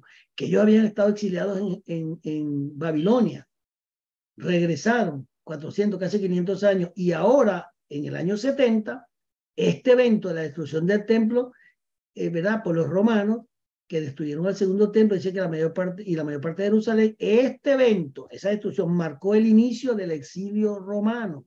O sea, que los judíos fueron expulsados otra vez de Jerusalén y de Israel. ¿Pero en qué año? Vamos a verlo, también llamado exilio Edom. Líderes y élites judías fueron exiliados, asesinados o vendidos como esclavos. En el año 132 después de Cristo, los judíos bajo el mando de Barcova se rebelaron otra vez contra Dios porque el, el, el, el ¿cómo se llama? El rabino eh, que fundaron en Jamnia eh, cuando, cuando Jerusalén es destruida, en el año 93 después de Cristo, en Jamnia se, se, restableció otra vez el, el, el, el, el judío, o sea, la casa de juicio, Begdín o la casa de los fariseos. Pues. Begdín judío se estableció en Jamnia, que es ahora este, Jaffa, que está cerquita del mar de Galilea. Yo estuve ahí cuando viajé hace tiempo atrás. Y ellos eh, establecieron ahí el Sanedrín, o sea, el Begdín en hebreo, el Begdín de los fariseos. Y estaban dos eh, rabinos que eran los principales que dirigían el Beddin de, de Jamnia o Hamnia o Jaffa, que es hoy día. Y e, ese era, Johan, este, era, era Johanan Ben Sakai, ¿verdad? Este, uno de ellos, este, y, el, y, el, y el rabino Akiva. Eran los dos rabinos que manejaban después de la destrucción del templo, se fueron a Jamnia y, y establecieron otra vez el Beddin romano, ¿verdad? esa gente, ese, este, eh, ¿cómo se llama? El rabino Johanan Ben Sakai y el otro rabino que le acabo de mencionar, este, ellos respaldaron a este tal Barkova como el, el verdadero Mesías, eh, tratando de opacar a Yeshua. Eso fue en el año 132. A ese Barcova y, y, y al rabino ben, ben, este, eh, Johanan Ben Sakai lo matan. Y matan a Barcova y mataron muchos judíos en ese año 32 durante el imperio, durante el emperador Adriano. Durante el emperador Adriano. Y aquí viene este nombre tan importante Adriano. ¿Por qué? Porque cuando Barcova, Johanan Ben Sakai y el rabino Akiva este, respaldaron toda esta rebelión contra Roma, Roma los mató y prohibió totalmente a los judíos tomar esa tierra. Y no solamente eso, ¿qué hizo el emperador Adriano en el año 132, que era el emperador que había? Porque este evento marcó el exilio romano. Pero ¿qué pasó? Eso fue el, el, cuando la destrucción del templo, pero en el año 135 después de Cristo, el emperador Adriano, si lees bien, eh, el ejército de Adriano derrotó a los ejércitos judíos para el, para el 132, 135, que, se, eh, que fue otra guerra contra los romanos que hicieron los judíos, y la independencia judía se perdió, como la tenían. Como castigo, Adriano cambió el nombre de Jerusalén y la llamó Aelia Capitolina. La convirtió en una ciudad pagana y prohibió a los judíos vivir allí. Judea y Samaria pasó a llamarse Siria Palestina. Ahora, con calma se lo dije, ¿por qué Adriano llamó a Judea y a Jerusalén y a toda la tierra de Israel, la llamó Siria Palestina? ¿Qué significa la palabra Palestina? Que es ahora están los palestinos, que se lo voy a explicar mañana. ¿Por qué la llamó Siria Palestina? Este, para avergonzar y humillar a los judíos cuando Adriano destruye y vence la, contra la guerra contra los judíos en el año 135 Ahí muere Barcova, que era uno de los rebeldes que se estaba haciendo pasar por Mesías, y muere el, el rabino Benjanán, eh, eh, eh este, el rabino este, Akiva y Johanan Ben Sakai. Cuando ellos mueren, este, Roma pone mano dura en Israel, expulsa a todos los judíos de la zona, los saca de ahí. No se podía hablar de nada judío, eran perseguidos, pero hizo algo que le cambió el nombre a toda, la a toda la región que hoy es Israel, a esta ciudad que está viendo detrás de mí, todo eso desde abajo, desde el Mar Muerto abajo al sur, hasta arriba, hasta el monte, hasta el monte, el monte todo, y del ancho, desde el Mar Grande, o sea, más Mediterráneo, hasta el extremo de Transjordania. Todo eso, ¿sabe cómo lo llamó Adriano? Lo llamó Palestina. En latín, Palestina significa, ¿sí sabe lo que significa? Palestina tiene que ver con el pueblo de los filisteos. Los filisteos moraban ¿dónde? ¿En qué área de, de Israel? En lo que es hoy la franja de Gaza. Cuando usted revisa la zona de Gaza, que es ahorita donde están los palestinos, la zona de Gaza, ahí de ahí era, de ahí eran los, los palestinos, o sea, los filisteos, de ahí era que venía el gigante Goliat de esa raza palestina o filistea. Entonces, como Adriano conocía la historia de Israel y que sus peores enemigos en el pasado eran los filisteos, y supo de toda esa guerra entonces para humillar, es usado por el mismo diablo, y la tierra que Dios había separado para su nación, este emperador la nombra Palestina, o sea, Filistea le puso a toda la tierra el nombre de Filisteos, que lo que significa Palestina es Filisteo, lo que pasa es que Palestina es en, en, latín. Y llamó eso tierra de los filisteos. ¿Y desde cuándo se llamó tierra de los filisteos, hermano? Desde el año 135 después de Cristo hasta, hasta, hasta 1948, que Dios regrese a Israel a su pueblo. ¿Cuántos años fueron? Mil, eh, fueron 1888 años, si no me equivoco, 1890 años. Todo el que nació en Israel, entre comillas, en Palestina desde el año 135 hasta la declaración de Balfour, que fue en, en 1917, ya para ese tiempo, Israel, lo que era Israel, había desaparecido por los romanos en el año 135, en el año 70 había sido destruido el templo fueron esparcidos todos los judíos por todos los territorios. El Sanedrín fue a tener a Jaffa de, de, de, de Ben Sakai y de, y de, y de el, rabino Akiva, y por ahí se dispersaron desde ese tiempo. ¿Qué pasó? Comenzó el imperio romano, tomó dominio de toda esa tierra, la llama, la renombra, le pone el nombre de Palestina. Y todo el que nacía en esa tierra era palestino. Al punto que para el año 1917, 18 y 19, cuando Inglaterra toma posesión de esa tierra después de casi dos mil años, porque después de Roma, que, se acaba en el 476 de la historia, cae el Imperio Romano. Cuando cae el Imperio Romano, lógicamente Jerusalén y Palestina comienza a pasar por todos los imperios que van tomando control. Entonces pasó por el Imperio Romano, después por el Bizantino, ¿Se acuerdan que más adelante los cruzados se apoderaron de toda esa tierra? Y pasaron por el imperio bizantino y siguió hasta el tiempo de, los turcomanos, que luego los árabes turcomanos o los musulmanes turcomanos, los turcos árabes, toman la tierra de Israel y la gobiernan. Cuando llega 1917, el imperio romano expulsa a los turcomanos de Palestina, lo que es Israel ahora, los expulsa Ahí es donde el primer ministro de Inglaterra, eh, el primer ministro, primer ministro no, era, secretario de Estado de Inglaterra, Winston Churchill. Winston Churchill, en 1917, 18, 19, no era primer ministro, era, eh, eh, era secretario de Estado.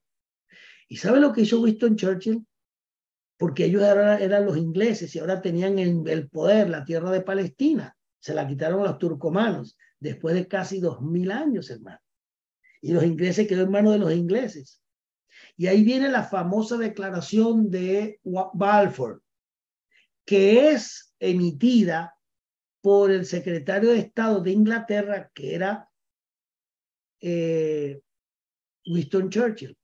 ¿Y sabe lo que hizo Winston Churchill? agarró un mapa de esa área en 1917-18 y vio el mapa. Y él mismo con un bolígrafo agarró y marcó la tierra y la dividió y dijo, esto va a ser, entonces marcó Jerusalén y unas nueve mil millas cuadradas. Por aquí marcó Transjordania, que es el imperio ahorita del rey Hussein, que ahora está el hijo, eh, Abdalá, que es el que está reinando ahora en, Jordania, ahora, porque era Transjordania, está reinando el rey del rey Hussein, el que murió, y ahora está Abdalá reinando, el hijo de, de Hussein. No, de, no, de, no estamos hablando de Irak, estamos hablando de, de, de Jordania, Transjordania, detrás de Jerusalén.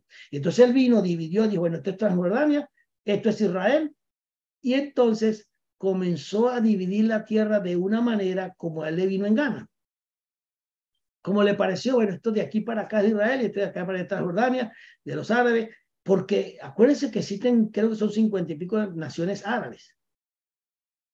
Y él hace esa división y dice, bueno, este pedazo de tierra que yo estoy marcando aquí, dice Winston Churchill como secretario de Estado, eh, habla con, con el, ministro de Relaciones Exteriores, que es Balfour, y dan una declaración de que esa tierra se le va a dar a Israel.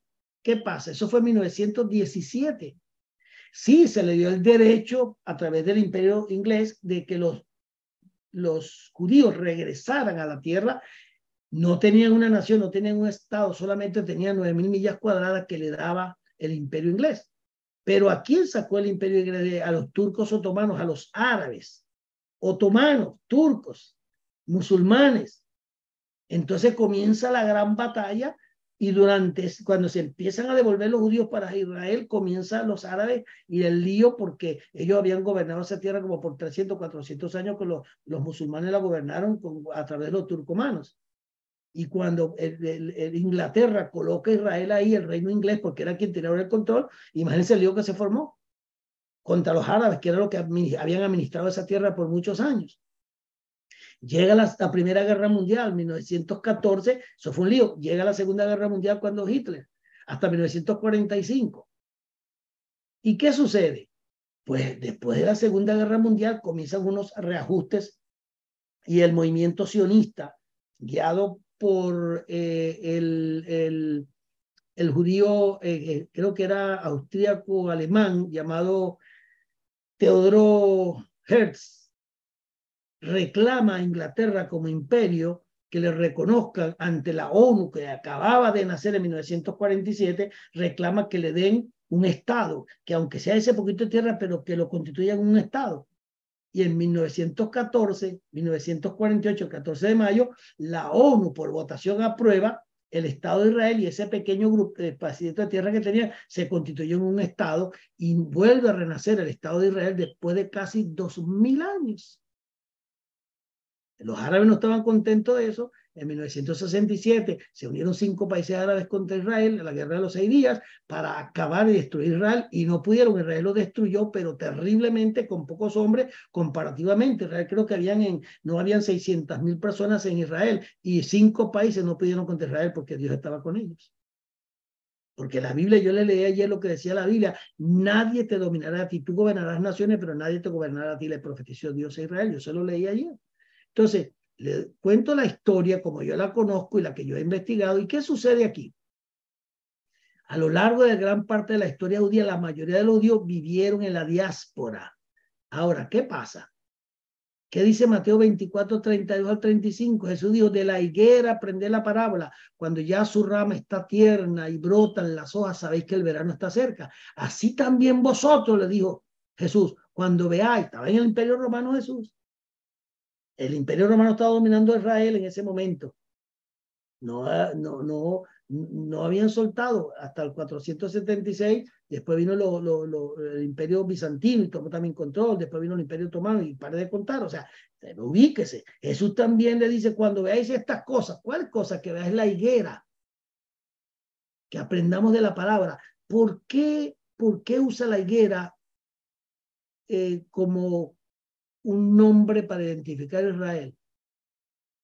Dice que cuando ya su rama está tierna y brotan las hojas, sabéis que el verano está cerca. Así también vosotros, cuando veáis todas estas cosas, todo lo que acababa de hablar en Mateo 24, conocéis que está cerca de las puertas. De cierto os digo que no pasará esta generación hasta que todo acontezca. ¿Cuál generación? La generación que vea la higuera florecer.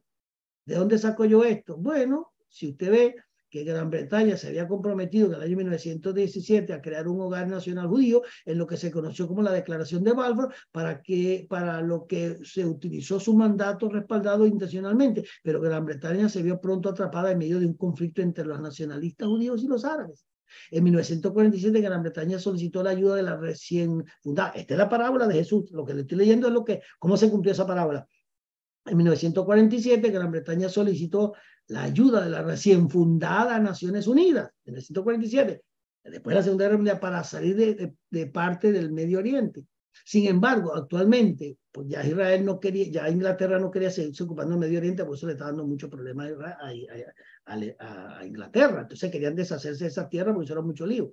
Sin embargo, actualmente israelíes y palestinos no pueden hacer lo mismo en una solución de, dos estados, vivían juntos en una franja muy estrecha de territorio. Los estados, los dos estados, tanto Israel como los palestinos, estaban eh, estados, medirían apenas 80 kilómetros de ancho desde el mar Mediterráneo hasta el río Jordán. Imagínense ustedes, metidos judíos y, y palestinos.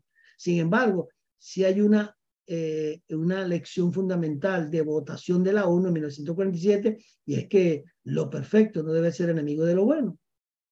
¿Qué fue lo que pasó con la higuera entonces? Para 1948 fue el fiel cumplimiento de la profecía en las Sagradas Escrituras en el libro de Isaías capítulo 66, 8.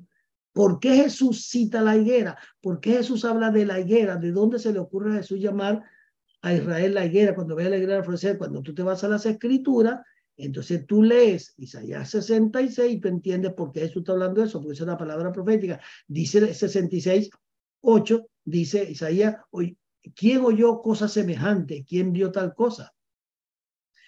¿Concebirá la tierra en un día?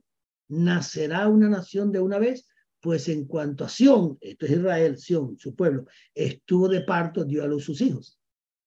En Jeremías 24, 3 al 10 dice, y Yahvé me dijo, este es Jeremías hablando sobre la higuera y sobre Israel.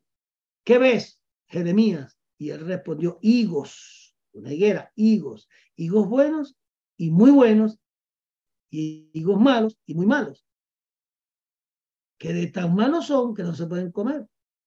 Y vino a mi palabra de Yahvé, dice Jeremías, diciendo, así dice Yahvé, Dios de Israel, Dios de quién? De Israel. Escucha la profecía, como a estos hijos buenos, así consideraré para bien a los exiliados de Judá, a quien envié desde este lugar a la tierra de los caldeos. Está hablando del exilio cuando los mandó a la tribu de Judá y de, y de, y de, y de, de Benjamín. ¿A dónde lo mandó? Al exilio, a Judea por 70, a, a Babilonia por 70 años. Dice que eran los hijos buenos, dice él, Los mandé a, los, la tierra de los caldeos. Pues pondré mis hijos sobre ellos para bien y los haré volver a esta tierra. O sea, los llevo allá por juicio, pero lo estaba castigando y lo estaba probando para poderlos salvar y poder redimirlos. Y los haré volver a esta tierra. Y lo dijo y lo profetizó y lo, y lo hizo, lo hizo volver.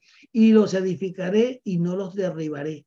Y los plantaré y no los arrancaré de esa tierra. Les daré un corazón para que me conozcan y sepan que yo soy Yahvé, y ellos serán mi pueblo y yo seré su Dios, porque se volverán a mí de todo corazón. ¿Quién? Israel se va a volver a mí a todo corazón. Pero como los higos malos, pero como los higos malos, que da tan malos, que da tan malos frutos, ¿verdad? Pueden, no, que dan tan malos frutos que no se pueden comer, así son aquellos de quienes dice Yahvé, entonces ahora habla de la otra parte de Israel, así entregaré a Sedequías, rey de Judá, y a sus príncipes y al resto de Jerusalén. ¿De qué está hablando?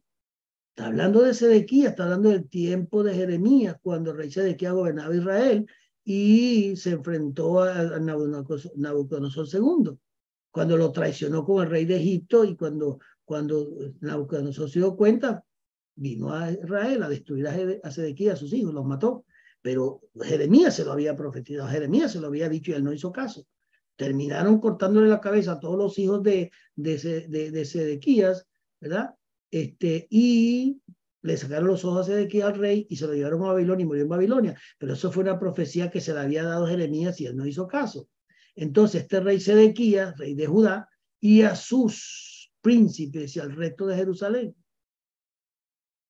los entregaría Dios a él. Los que hayan quedado en esta tierra, y los que habitan en la tierra de Egipto. Los convertiré en espanto, en mal para todos los reinos de la tierra, oprobio y mal ejemplo, insulto y maldición en, en todos los lugares donde los arrojaré. ¿A quién? A estos judíos. Del tiempo de Sedequía. Yo, dice, y enviaré contra ellos la, la espada, el hambre y la pestilencia hasta que sean exterminados de la tierra que les di a ellos y a sus padres qué está hablando? Está hablando de parte del pueblo de Israel, está hablando de parte del pueblo de Israel que desobedeció a Dios en aquel tiempo, que violó el pacto, a quien Dios le dio carta de divorcio y les dijo, los voy a mandar allá y van a estar bajo juicio, pero hablaba de unos higos buenos que no todo Israel sería, se perdería, sino que había un remanente que sí le serviría y que él rescataría. Entonces, la Israel que tenemos ahora este Israel nacional, este Israel que, tiene un Sanedrín, que tiene un, gobierno, un Knesset democrático, donde toma decisiones para aprobar matrimonios entre hombres, que toma decisiones totalmente contrarias, es el Israel que están viendo ahí peleando, es el Israel que es una abominación para Dios, es el Israel que ha desobedecido, es el Israel que no hace caso, es el Israel sobre quien vienen los juicios, porque es Israel que está ahora y la gran mayoría de los hijos malos, que no se pueden ni comer, son los que están trayendo el juicio de Dios sobre esa tierra. Pero acuérdense que están los hijos buenos, los higos buenos, no los hijos, bueno, hijos e higos. Los higos buenos son esos 144 mil que el Señor tiene separado, son todos aquellos judíos que estando en Israel ahora mismo ya creen en el Mesías, pero no pueden decir que son hijos de Dios y que creen en el Mesías porque los matan. Entonces hay, hay dos Israel en Israel. Hay dos Israel en Israel. Están los higos malos, los higos, no hijos, eh, también son hijos, ¿no? Pero los higos, como la higuera, los higos, el fruto de la los malos, que no se pueden comer, o sea, que están metidos en la tierra de ahora mismo y que son diabólicos, son satánicos, son los que están construyendo el templo ese para restablecer el sacerdocio levítico, para restablecer el sacrificio de animales, para volver a construir un templo que ya Jesús destruyó, un sacerdocio que ya Jesús destruyó, unos animales que ya quedaron abolidos por bajo la ley mosaica, eso se abolió porque Jesús cumplió toda la ley, fue el sacrificio, lo redimió y es el tercer templo. Y eso que están haciendo los, los, judíos ahí es una abominación a Dios la cual Jesús dice, cuando veáis la abominación de desoladora entrar al templo, que ellos llaman templo de Dios, entonces entiendan que ha llegado pues, el momento difícil para esta nación, estos higos malos, higos malos que están en Israel. Pero hay unos higos buenos que Dios dice que va a preservar, que está dentro de Israel también. Son dos naciones que están metidas ahí. Los malos y los buenos están juntos, la cizaña y el trigo. Y el juicio que está viniendo sobre Israel en este tiempo es porque hay muchos israelíes, israelíes que están pervertidos, pero hay, hay, dos pueblos, un pueblo que se llama israelí y un pueblo que se llama israelitas. Los israelitas que están en Jerusalén son los convertidos a Yeshua, que no se han, no se han manifestado como eh, creyentes en Mashiach, en Yeshua, porque los matan los mismos israelíes y la religión y el sistema que hay allá persigue el, el judaísmo el judaísmo que está en Israel ahora mismo, de todos estos rabinos, de toda esta gente religiosa que guarda las tradiciones, ese judaísmo es el mismo fariseísmo que mató a Jesús, que colgó a Jesús, es el que está en Israel, es el que va a construir ese templo. Toda esa gente que, que, violaron la palabra con sus tradiciones, con sus minjaim y con su alajá, esa gente está en Israel y esa gente es la que está construyendo todo eso. Pero hay un Israel que es, que es israelita, hay, un Israel que son israelíes, que nacieron ahí, pero no son de Dios. Y hay un Israel que son israelitas, que vienen por la línea de Jacob, por la línea del Mesías, que sí creen en el Mesías y es el remanente fiel. Por favor, abra sus oídos espirituales, abra sus ojos espirituales. Cuando yo estuve en Jerusalén, ahora en diciembre, yo tuve una experiencia terrible en Jerusalén, terrible en Israel. Y ahí fue donde Dios me llevó y me dijo, te he traído acá, mire, me pagaron pasaje para mí, para mis hijas, Dios me proveyó todo. Yo no tenía planes de ir a Israel, ni dinero. Y una hermana fue tocada allá en Barranquilla, en el Sucot pasado, eh, por allá en octubre del año pasado, y me dio un cheque por 10 mil dólares. Y me dijo, váyase con su familia. Si el Señor me dijo que usted tenía que tener en Israel. Entonces yo me puse a orar y dije, pero ¿cómo es esto? Y cuando dije, sí, yo te lo mandé. Y tuve que ir. Y me quedé 15 días en Israel y después fui a España. Y en mi tiempo en Israel, ahí en esa ciudad que usted ve detrás de mí, que por todo eso caminé. Mire, y es la segunda vez que voy. Cuando estuve, pero yo me quedé en la frontera con Belén, en las murallas, por eso tiene, Belén es una ciudad musulmana, que está pegada a Israel y está dentro de Israel, pero es musulmana, como Jericó y como otras ciudades. Eso es un lío tremendo. Hay una separación con murallas de una ciudad y la otra. Y yo me quedé en el lado de Belén, donde están los palestinos vuelvo a decirlo, yo me quedé, la, el apartamento que alquilé lo alquilé del lado del muro del lado de Belén, donde están los árabes, y alquilé un apartamento, un Airbnb que llaman, de ese lugar, pero en todo el borde. Y yo bajaba y en 10 minutos estaba donde había nacido Yeshua, en la zona donde nació Yeshua. Estuve en la plaza, estuve en todo ese lugar ahí eh, varios días.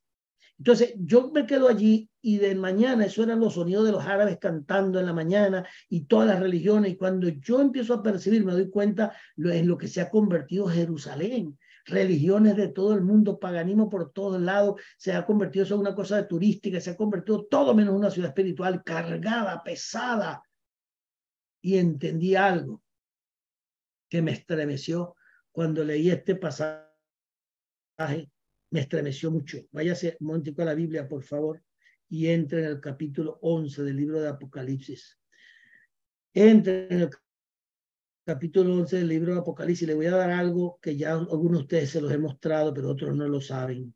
Mire lo que Dios me mostró.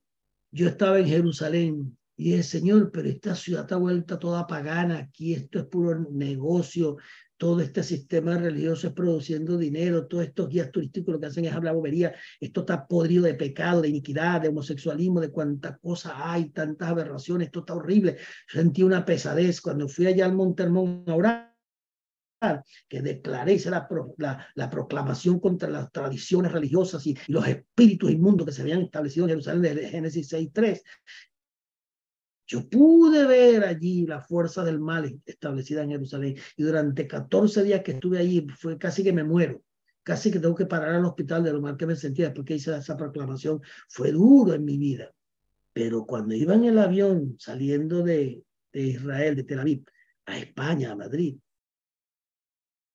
yo tuve claridad en el mundo espiritual de algo muy importante. Yo había estudiado hacía como 20 años, 30 años, que Jerusalén se convertiría en una Babilonia y lo había estudiado y lo había revisado, pero como hace mucho tiempo no le di mucha importancia. Cuando iba en el avión, me acordé de lo que Dios me había mostrado hacía 30 años atrás, de que Israel se convertiría en una Babilonia para el tiempo del anticristo, claro está. O sea que cuando venga el anticristo se va a meter en ese templo que los judíos israelíes, no israelitas, no todo el que nace en Israel es israelita, dice Pablo. Entonces, ¿qué es una persona que nace en Israel? Si no es israelita, es un israelí. Entonces, tenemos el Israel lleno de israelíes y tenemos el Israel lleno de israelitas. Los israelitas son los que creen en Jesús, son los que vienen por el lado de Jacob, son de la simiente del Mesías. Esos son los israelitas. ¿Y quiénes son los israelíes? Los que no creen en el Mesías, que pertenecen a la simiente satánica. Por eso Jesús le dijo a los israelíes de su tiempo, les dijo, ustedes han han violado mi palabra, la han quebrantado con vuestro alajá, que es la ley judía, que es las tradiciones de los ancianos, y con vuestro minjaim, con vuestras tradiciones, con vuestras costumbres. Cuando yo veo eso, me acuerdo de lo que Dios me mostró, que, que Israel se convertiría en Babilonia. Y entonces empiezo a buscar las citas bíblicas, buscando, Señor, ¿dónde fue que yo leí esto? Y por fin llegué a Apocalipsis 11.8 le leo Apocalipsis 11.8. Es más, déjeme buscárselo aquí y ponérselo aquí para que usted también lo vea. Perdóneme un momentico. Déjeme buscárselo aquí en la pantalla. A lo usted no tiene Biblia. Apocalipsis 11, 8. Para que usted pueda leerlo conmigo. Vamos a poner esta Biblia que está aquí, la textual, y vamos al versículo 8. Ah, ¿Qué pasó? Dios mío, toqué lo que no era. Vamos otra vez para atrás. 11, 8. Aquí está el versículo. Vamos a ponerlo aquí en letras bien grandes. Aquí la aumento. Perfecto. Ok, déjeme compartírselo. Déjeme compartírselo porque si no, no lo va a ver más nunca. Déjeme compartirle la Biblia. Aquí la tengo. Quiero que lo vea, quiero que lo vea. Mira, aquí está. Se la puse en letras grandes. Eh, perdón. Dios, aquí no se puede tocar nada porque se mueve todo, hermano. Aquí estoy. Aquí estoy. Aquí lo agrando y aquí lo achico. Debe ponerse lo más grande ahí. Ok, versículo. Está hablando de los dos testigos, observe, está hablando de los dos testigos. Dice, estos tienen potestad, los dos testigos, de cerrar el cielo para que no caiga lluvia en los días de su profecía Estamos en el capítulo 11 de Apocalipsis, estamos en plena gran tribulación, el anticristo está operando, es el, gobierno global y están los dos testigos en Jerusalén ministrando y dando profecía. También tienen potestad, quieren los dos testigos sobre las aguas para convertirlas en sangre y para herir a la tierra con toda plaga cuantas veces quieran. Versículo 7. Cuando terminen su testimonio, quieren los dos testigos, la bestia que sube del abismo, la bestia que sube del abismo, el anticristo, hará guerra contra ellos. Llegará un momento en que ellos van a estar ministrando durante ese periodo tiempo, pero va a aparecer el antimesías como gobernante y los va a enfrentar. Porque lo que va a suceder ahí es que ellos van a estar ministrando, ¿verdad? Y no ha aparecido todavía el antimesías, pero dice que después que estén testificando y diciendo todo esto, cuando terminen su testimonio, cuando lo terminen, la bestia que sube del abismo hará guerra contra ustedes. Es cuando aparece. Quiere decir que al final de su ministerio, más o menos, es que la bestia, o sea, el anticristo va a tomar control de Jerusalén y de Israel y hará guerra contra ellos y los vencerá y los matará. ¿A quién? A los dos testigos. Después, ¿qué va a pasar? Ellos van a resucitar al tercer día, igual que Jesús, y todo el mundo lo va a ver por televisión. Ya se lo leo. Pero mire el versículo 8. Está hablando, ¿dónde está esta gente? ¿Dónde están? Esos dos testigos están en Jerusalén, están testificando. Uno, dos, la bestia que sube del abismo se va a plantar en Jerusalén, se va a meter en el templo y desde Israel, desde Jerusalén, va a gobernar el mundo. ¿Cuál va a ser el sitio de headquarters o las oficinas centrales del antimesías? Es el templo de Jerusalén que van a construir los judíos, que son israelíes, que no son israelitas, que son higos podridos. Los israelíes son los higos podridos, los higos podridos que niegan al Mesías y que por eso están construyendo un templo que ya Jesús destruyó, están activando un sacerdocio que ya Jesús abolió y están levantando, matando animales que ya Jesús es el sacrificio, no tienen por qué matar más animales. Esos son los israelíes religiosos, pero los israelitas son los que están escondidos en Israel, que son de Dios, que son convertidos, pero que no pueden proclamar nada hasta que no llegue el momento de hacerlo, porque si no los matan. ¿Usted me está siguiendo o no? Ok. Los dos testigos están en pleno Jerusalén testificando en el periodo cuando comience la semana 70 de Daniel. Dios lo va a levantar, milagros, señales, prodigios, tremendo. Pero se va a levantar para ese tiempo el antimesías que va a gobernar el mundo y les va a cegar y los va a matar, y los va a poner en una plaza pública y el mundo entero, porque va a tener control de todos los medios. Todas las redes sociales las va a manejar, todos los medios de comunicación van a estar en su poder. Y todo el mundo por televisión va a ver a estos dos tipos muertos que el anticristo, el gobernante del mundo, lo va a exponer. Todo el mundo lo va a ver porque tiene el dominio del mundo. Y todo el mundo va a ver eso por televisión, por todos los canales del mundo entero. Tres días van a estar puestos en las plazas. Y dice la Biblia que al tercer día resucitan. Pero escuche esto. Eso va a resucitar y van a ascender. Pero mire antes de que resuciten lo que pasa. Dice versículo 8. Que los cadáveres, los cadáveres de ellos, ¿verdad? Los cadáveres, porque yacerán en la plaza Escuche, ellos están en Jerusalén. Ya serán en la plaza de la gran ciudad. ¿Cuál es la gran ciudad? Jerusalén. De la gran ciudad, está hablando Israel, la gran ciudad del mundo entero, capital del mundo es Jerusalén. Fíjense cómo se llama la gran ciudad. No sé si se acuerda de Apocalipsis capítulo 17. Ok. Que espiritualmente se llama, ¿cómo se llama la gran ciudad? Espiritualmente, espiritualmente se llama Sodoma y Egipto. Está hablando de Jerusalén se llama Sodoma y Egipto, donde también fue crucificado el Señor de ellos. ¿El Señor de quién? De los testigos. ¿Quién es el Señor de los testigos? Mashiach. Y dice que esta ciudad, donde van a yacer los dos cadáveres, que es Jerusalén, llamada la plaza de la gran ciudad, ¿cuál gran ciudad de Jerusalén? Que espiritualmente se llama Sodoma y Gomorra. ¿Cómo llama Jesús? ¿Cómo llama aquí Juan, el apóstol, a, a Jerusalén? La llama que también se llama espiritualmente Sodoma y Gomorra, Sodoma y Egipto. Quiere decir que la ciudad va a caer bajo abominación y va a ser llamada Sodoma y Egipto, donde también fue crucificado el Señor de ellos, o sea, el Mesías. ¿Saben lo que se va a convertir Jerusalén durante el periodo de tribulación? En una Babilonia. Esa Babilonia es la que usted tiene aquí, esa Babilonia es la que usted tiene aquí en Apocalipsis capítulo 17, escúcheme bien y atiéndame con atención porque si no estos misterios, yo le estoy hablando de los misterios que se van a, se van a revelar en estos tiempos. ¿Qué dice la prostituta? Apocalipsis 17, y vino uno de los siete ángeles que tiene las siete copas y habló conmigo diciendo, ven y te mostraré la sentencia contra quién, contra la gran ramera que está sentada sobre muchas aguas. Agua significa multitudes, gobierna multitudes, aguas, multitudes, pueblos, naciones, con la cual fornicaron los reyes de la tierra y con los que moran en la tierra fueron embriagados con el furor de vino de su fornicación. Y, el, y en espíritu me llevó a, un desierto y vio una mujer sentada sobre una bestia escarlata llena de nombres de blasfemia, que tenían siete cabezas y diez cuernos, y la mujer estaba vestida de púrpura y escarlata, adornada de oro y de piedras preciosas, perlas, sosteniendo en su mano una copa de oro, llena de abominaciones y de inmundicias de su fornicación. Y en su frente estaba escrito un nombre, un misterio, un nombre, misterio, Babilonia la grande, madre de las rameras de las abominaciones de la tierra. ¿De qué habla? Está hablando del sistema tanto religioso como político satánico del mundo. ¿Por qué? Porque en, el libro de Apocalipsis hay dos Babilonias, la Babilonia religiosa, escúcheme, en el libro de Apocalipsis, capítulo 16, capítulo 17, y aún en el 14 aparecen dos Babilonias, la Babilonia religiosa, que, es, que el anticristo la va a quemar, la va a destruir, y la Babilonia política, que es la que él gobierna directamente, porque la Babilonia religiosa la va a destruir y él se va a ser el líder religioso del mundo, y la Babilonia política son los gobiernos que él manda. Entonces, entendiendo que hay dos Babilonias, la religiosa y la política, entonces que usted puede entender esto, observe, observe. Dice, versículo 5, y en su frente estaba escrito un nombre misterio, un misterio. Estamos hablando de misterio, Babilonia la Grande, madre de la ramera. Todo este es el sistema, ¿qué? El sistema anticristo, el sistema satánico que va a gobernar el mundo por tres años y medio, como ya se lo dije. Versículo 6. Y vi a una mujer embriagada de la sangre de los santos y de la sangre de los mártires de Jesús.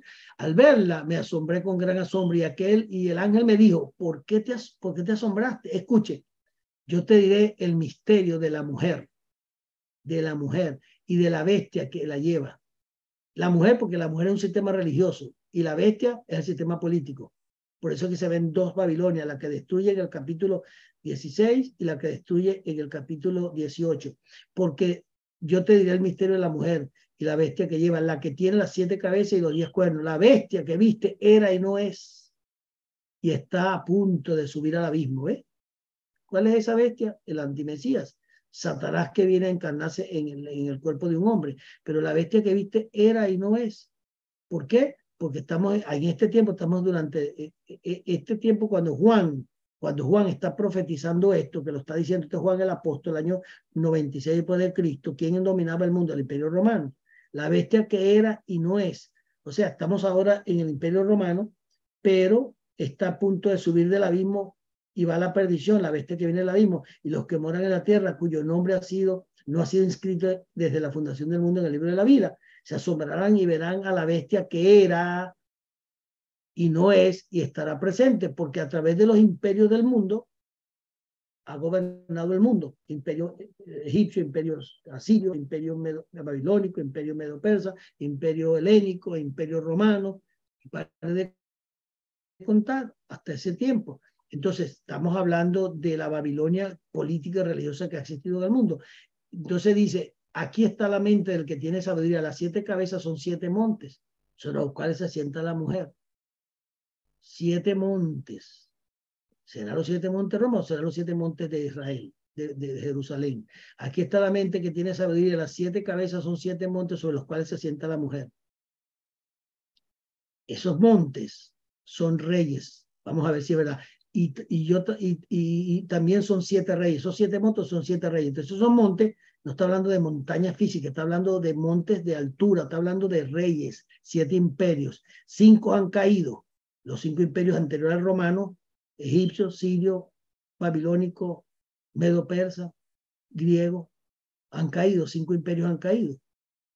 Y uno es el imperio romano. Y el otro, que es el gobierno de los diez reyes, está por venir, pero durará poco tiempo. Pero de, este, de, este, de estos diez surgirá un octavo y la bestia que eres no es, ella es también el octavo, que es el antimesías. Entonces tenemos siete cabezas que son siete reyes, o sea, siete imperios que han existido. Egipcio, sirio, babilónico, medo, persa, helénico, cinco han existido. Y después vino el romano, cinco han existido y cayeron, el uno es el romano, donde está Juan ahora, y el otro aún no ha venido, que, es el, que son los diez reyes eh, que, en los cuales se va a dividir el mundo. Diez secretarios generales que se va a dividir en diez. Tres de esos reyes le van a dar el poder al anticristo, los otros siete, ah, perdón, el anticristo lo va a destruir, los otros siete le entregan el poder al anticristo y ahí se convierte en el, el, el, el supremo eh, dictador del mundo entero. Entonces, sobre las cuatro se sienta la mujer. ¿Qué mujer? El sistema religioso.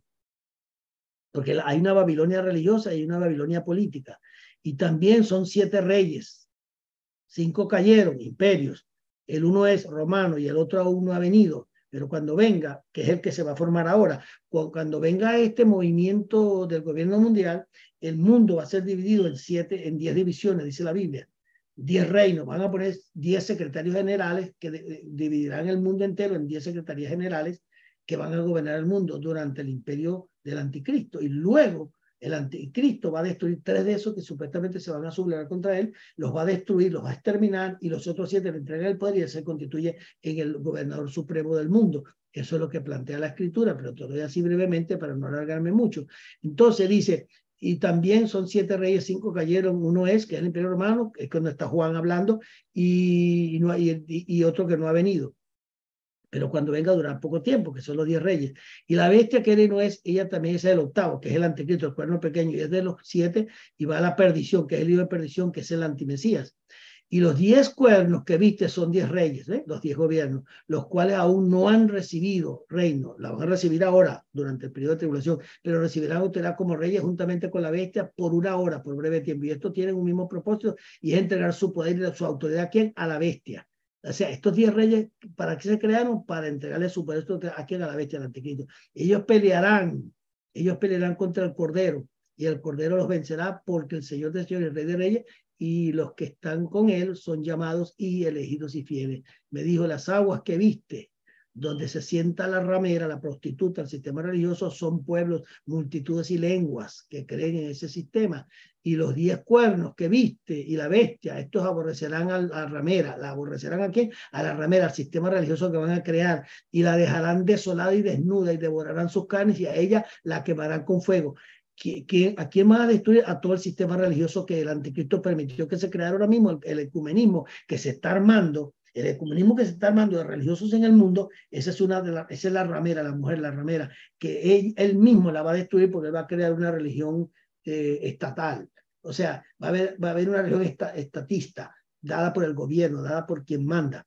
Y las religiones que existen, tanto las tres abrahámicas, el cristianismo, el islamismo y el, eh, y el, y el judaísmo, que es la casa abrahámica que está diciendo en Abu Dhabi, eso lo el anticristo lo va a destruir, lo va a quemar. Y con él todos los religiosos del mundo que han seguido esas religiones van a ser perseguidos, van a ser quemados, que habla aquí en Apocalipsis 14 y luego Apocalipsis 16, donde habla de la destrucción de la, de la ramera, la religiosa, la, lo que llaman el, el, el, el ecumenismo, que es donde están suscribiendo muchos pastores en este país de grandes iglesias se están suscribiendo al ecumenismo y se están uniendo a esa religión mundial que va a ser destruida por el anticristo. Y después se va a enfrentar a quién? Al Mesías. Entonces, volviendo al tema nuestro, volviendo al tema nuestro, donde yo estaba, este, acá se está cumpliendo la profecía, ¿verdad? Nace Israel en, 1900, en 1948, observa esto, eh, Mateo 24, habla de la higuera que va a renacer, que es Israel ahora, y el cumplimiento de la profecía, las escrituras, eh, Isaías 68, 66, 8, la higuera y la Biblia simbolizan el pueblo de Israel, según Oseas 9.10 y Jeremías 24.7 y tal. Cuando Cristo habló en Mateo 24.32 en forma de parábola acerca del florecimiento de la higuera, estaba hablando del florecimiento de Israel. Y Jesucristo es, ese, en ese pasaje asoció su segunda venida con el florecimiento de la higuera que es Israel. Vale decir, a partir del nacimiento de la generación que naciera cuando Israel floreciera, Salmo 90, 10 te lo dice, dice que una generación durará 70 y 80 años. Entonces, a partir del 14 de mayo de 1948, como te lo puse aquí, ¿quién fue que eh, logró eso al final? Eh, lo empezó el trabajo eh, Teodoro Herzl para tratar de conseguir el pedazo de tierra de Israel, que lo consiguió en 1948, y pues David Ben Gurión fue el que trabajó para que se declarara en la ONU este, y él fue el que hizo la declaración de independencia del nuevo Estado de Israel cuando se aprobó. David Ben Gurión, que así se llama el aeropuerto de, Tel Aviv, David Ben Gurión, por, por este hombre que, que hizo que Israel volviera a ser un Estado. El país recibe una gran oposición internacional, pero también un gran apoyo de otros países. Apocalipsis 12, 1 al 8, habla de una gran señal que fue vista en el cielo. Y aquí en Apocalipsis te habla de toda la historia, desde la caída de Lucifer, eh, la, mente de Dios, cómo iba a fundar Israel y qué pasaría. La historia te la cuenta en 18 versículos. Míralo. Una gran señal fue vista en el cielo. Una mujer vestida de sol y la luna debajo de sus pies y en su cabeza una corona de dos estrellas y estando encinta grita con dolores de parto, angustia por dar a luz. Cuando yo veo eso, sol, luna debajo de sus pies, una corona, dos estrellas, pues me voy a la ley de primera referencia, de primera mención, que está en Génesis 37, 9, 11, que fue la que vio José y soñó aún un sueño José, el patriarca José, y lo refirió a sus hermanos y dijo, mirad, he soñado un sueño y he aquí el sol, la luna y once estrellas, porque el dos era él, se postraba ante mí, dice José, y lo refirió a su padre, acuérdense que José es tipo de Cristo, y lo refirió a su padre y a sus hermanos, pero su padre lo reprendió y le dijo, ¿qué, qué sueño es este que soñaste? ¿Acaso yo, tu madre y tus hermanos llegaremos postrados en, en tierra delante de ti? Y sucedió que sí, porque cuando fueron, que él fue el gobernante de, de Egipto durante el faraón, el periodo de los faraones, eh, Israel, el padre de él, ¿verdad? que es Israel, Jacob, su madre y su hermano vinieron a postrarse delante de él porque él era el gobernador de Egipto. Se cumplió en, presagio. Porque esto que representa que vendremos a postrarnos delante de tu, tu madre, Dios, tus hermanos, a ti que ahora eres rey de Egipto, que ahora gobernaste a Egipto, Egipto es el mundo. Está hablando de Cristo, José es Cristo gobernando al mundo y todos los hermanos de Cristo que lo crucificaron y que lo votaron y que lo tiraron van a venir a postrarse delante del Señor, todo Israel, no sé si me sigue. Lo vuelvo a decir. José tiene un sueño. Este sueño, José prefigura a Cristo en su vida, prefigura a Mashiach. Él tiene un sueño donde la luna, el sol, las estrellas y once estrellas se postran delante de él. Se la cuenta su hermano el padre, y el padre dice, ¿qué? Tu madre y yo y tus hermanos vamos a ir a postrarnos delante de ti. Exactamente, eso era lo que iba a pasar.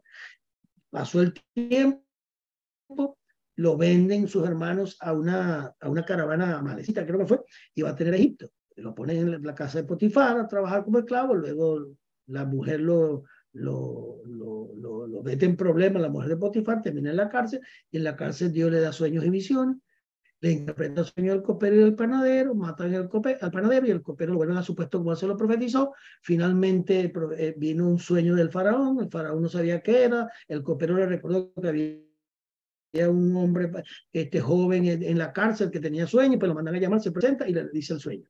Al decir el sueño, las vacas gordas, la vaca flaca, la, la, la, manojos de trigo y el otro seco. Entonces les dio las dos comparaciones, Dios dio ese sueño al faraón, José se la interpreta, le explica que viene hambruna, las vacas flacas del hambre, la vaca gorda es mucha abundancia, pero que durante el tiempo de abundancia recojan, porque esas son las vacas gordas, y almacenen y hagan esto y al otro, porque viene hambruna sobre la tierra siete años. El faraón se da cuenta de lo que está diciendo José, lo nombra gobernador de todo Egipto, le pone su anillo y dice, este es el tipo que manda aquí, que administre todo. ¿Qué pasó?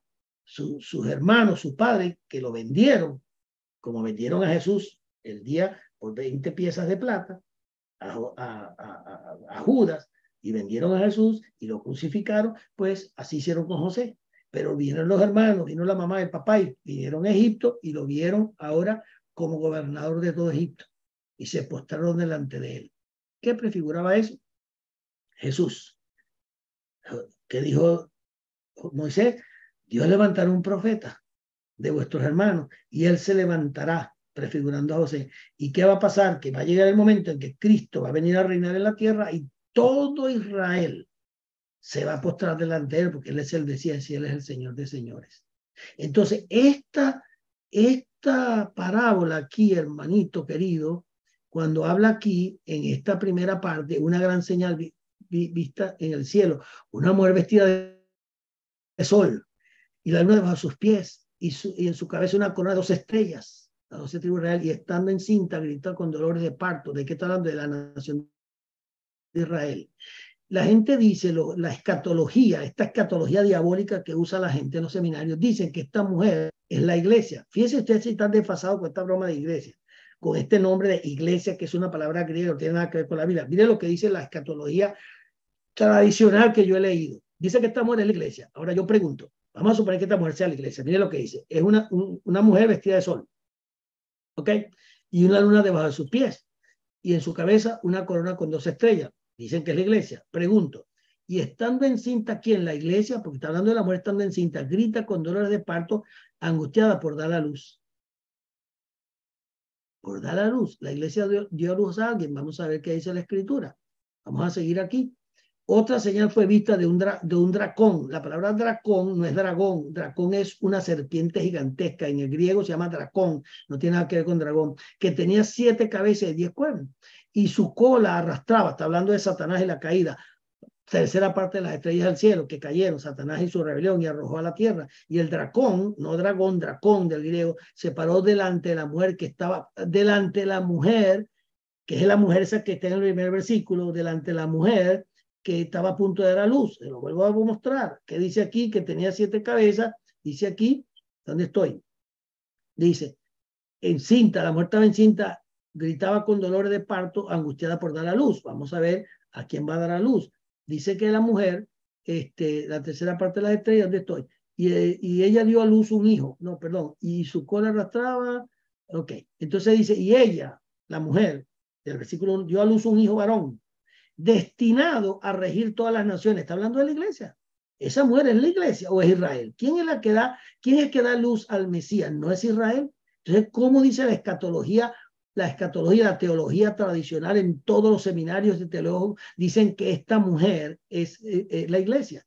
Eh, ¿A quién se le ocurre semejante barraganada, hermano? Su cola arrastraba la tercera parte, dice, de Satanás. Pero aquí dice, y ella, la mujer, vino a dar luz un varón destinado a regir todas las naciones con vara de hierro. Y su hijo fue arrebatado hacia Dios y hasta su trono. Ese es Yeshua. ¿Cómo va a ser la iglesia? Y la mujer huyó al desierto.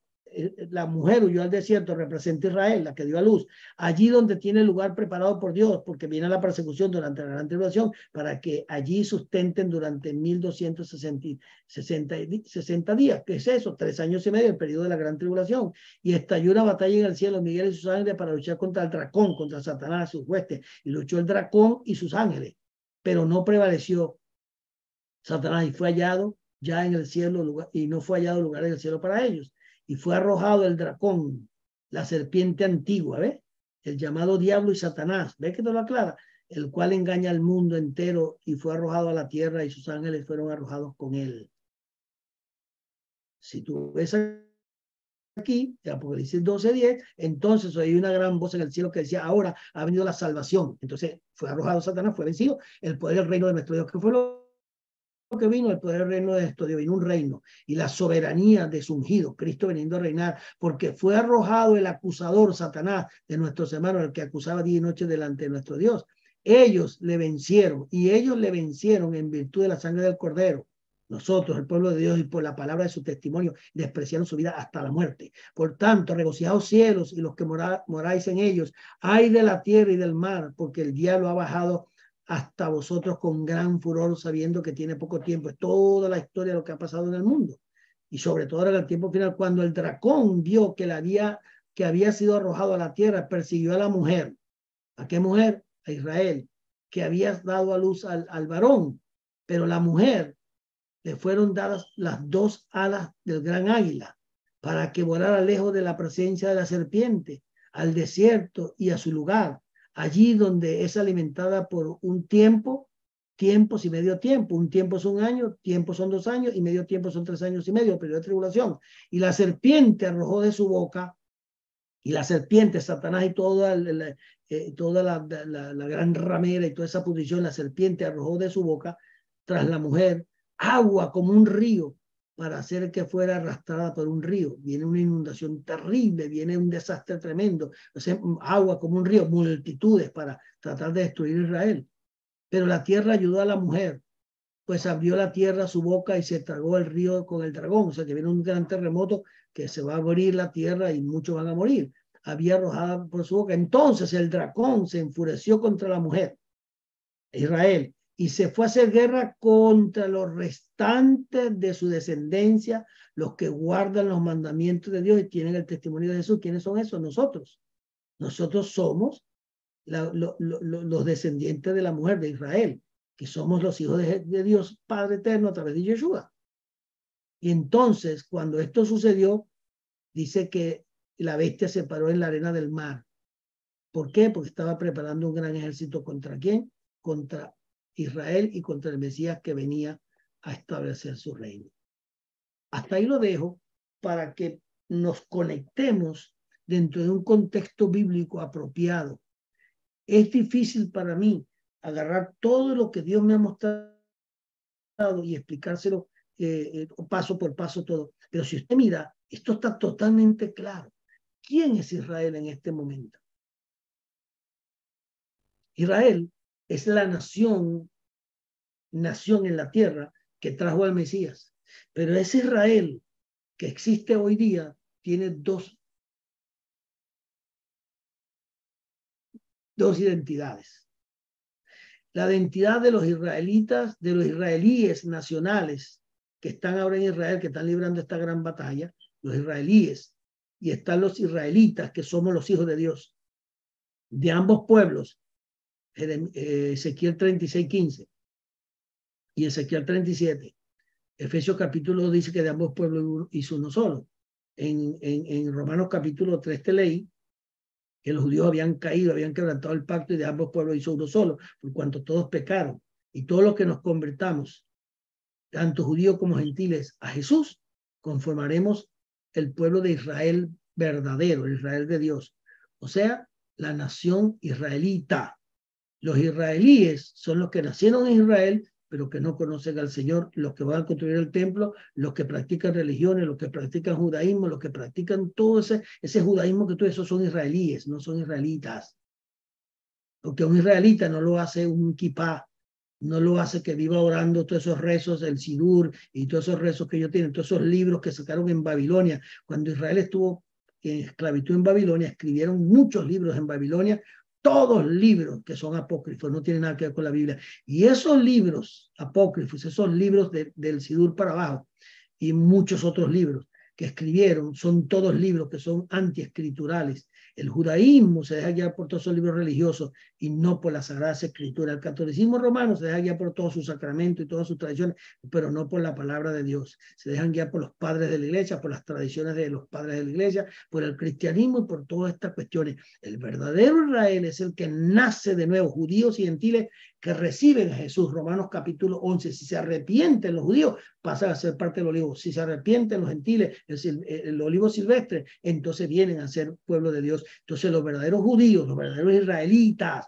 somos los judíos y gentiles convertidos a Jesús, según Romanos capítulo 11, según Efesios capítulo 12, según Ezequiel capítulo 36 y capítulo 37. Todo eso está en la escritura. Si no entendemos es porque no queremos. Yo te lo estoy tratando de simplificar.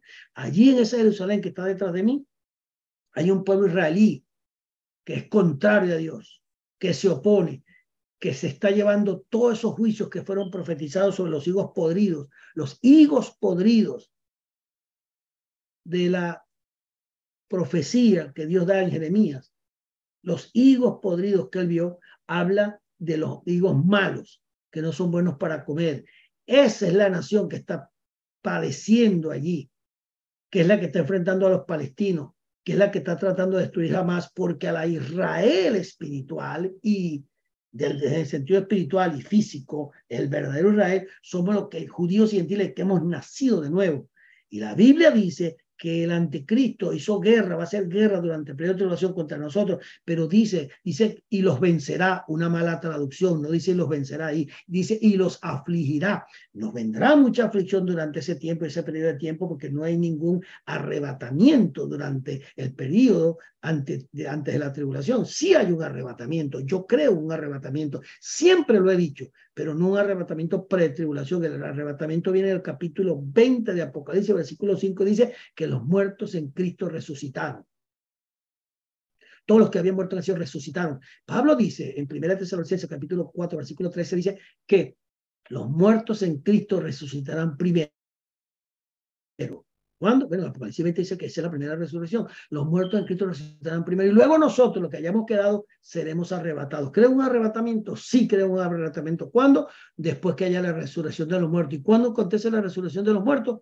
La primera resolución, Apocalipsis 24, no aparece pretribulación. Eso le enseñó Samuel Lacunza, un cura católico que enredó a toda la iglesia evangélica con una falsa doctrina de un falso arrebatamiento pretribulación. Si hay un arrebatamiento, creo en el arrebatamiento. Vamos a ser transformados, Gabriel de Cerrado. Vamos a, a ser llenos de, de una vestiduras santas y, de, de, de un cuerpo glorificado. ¿Cuándo? Cuando llegue el momento de Yonterúa. Son siete años de, la, de, periodo de la semana 70 de, Daniel, siete años.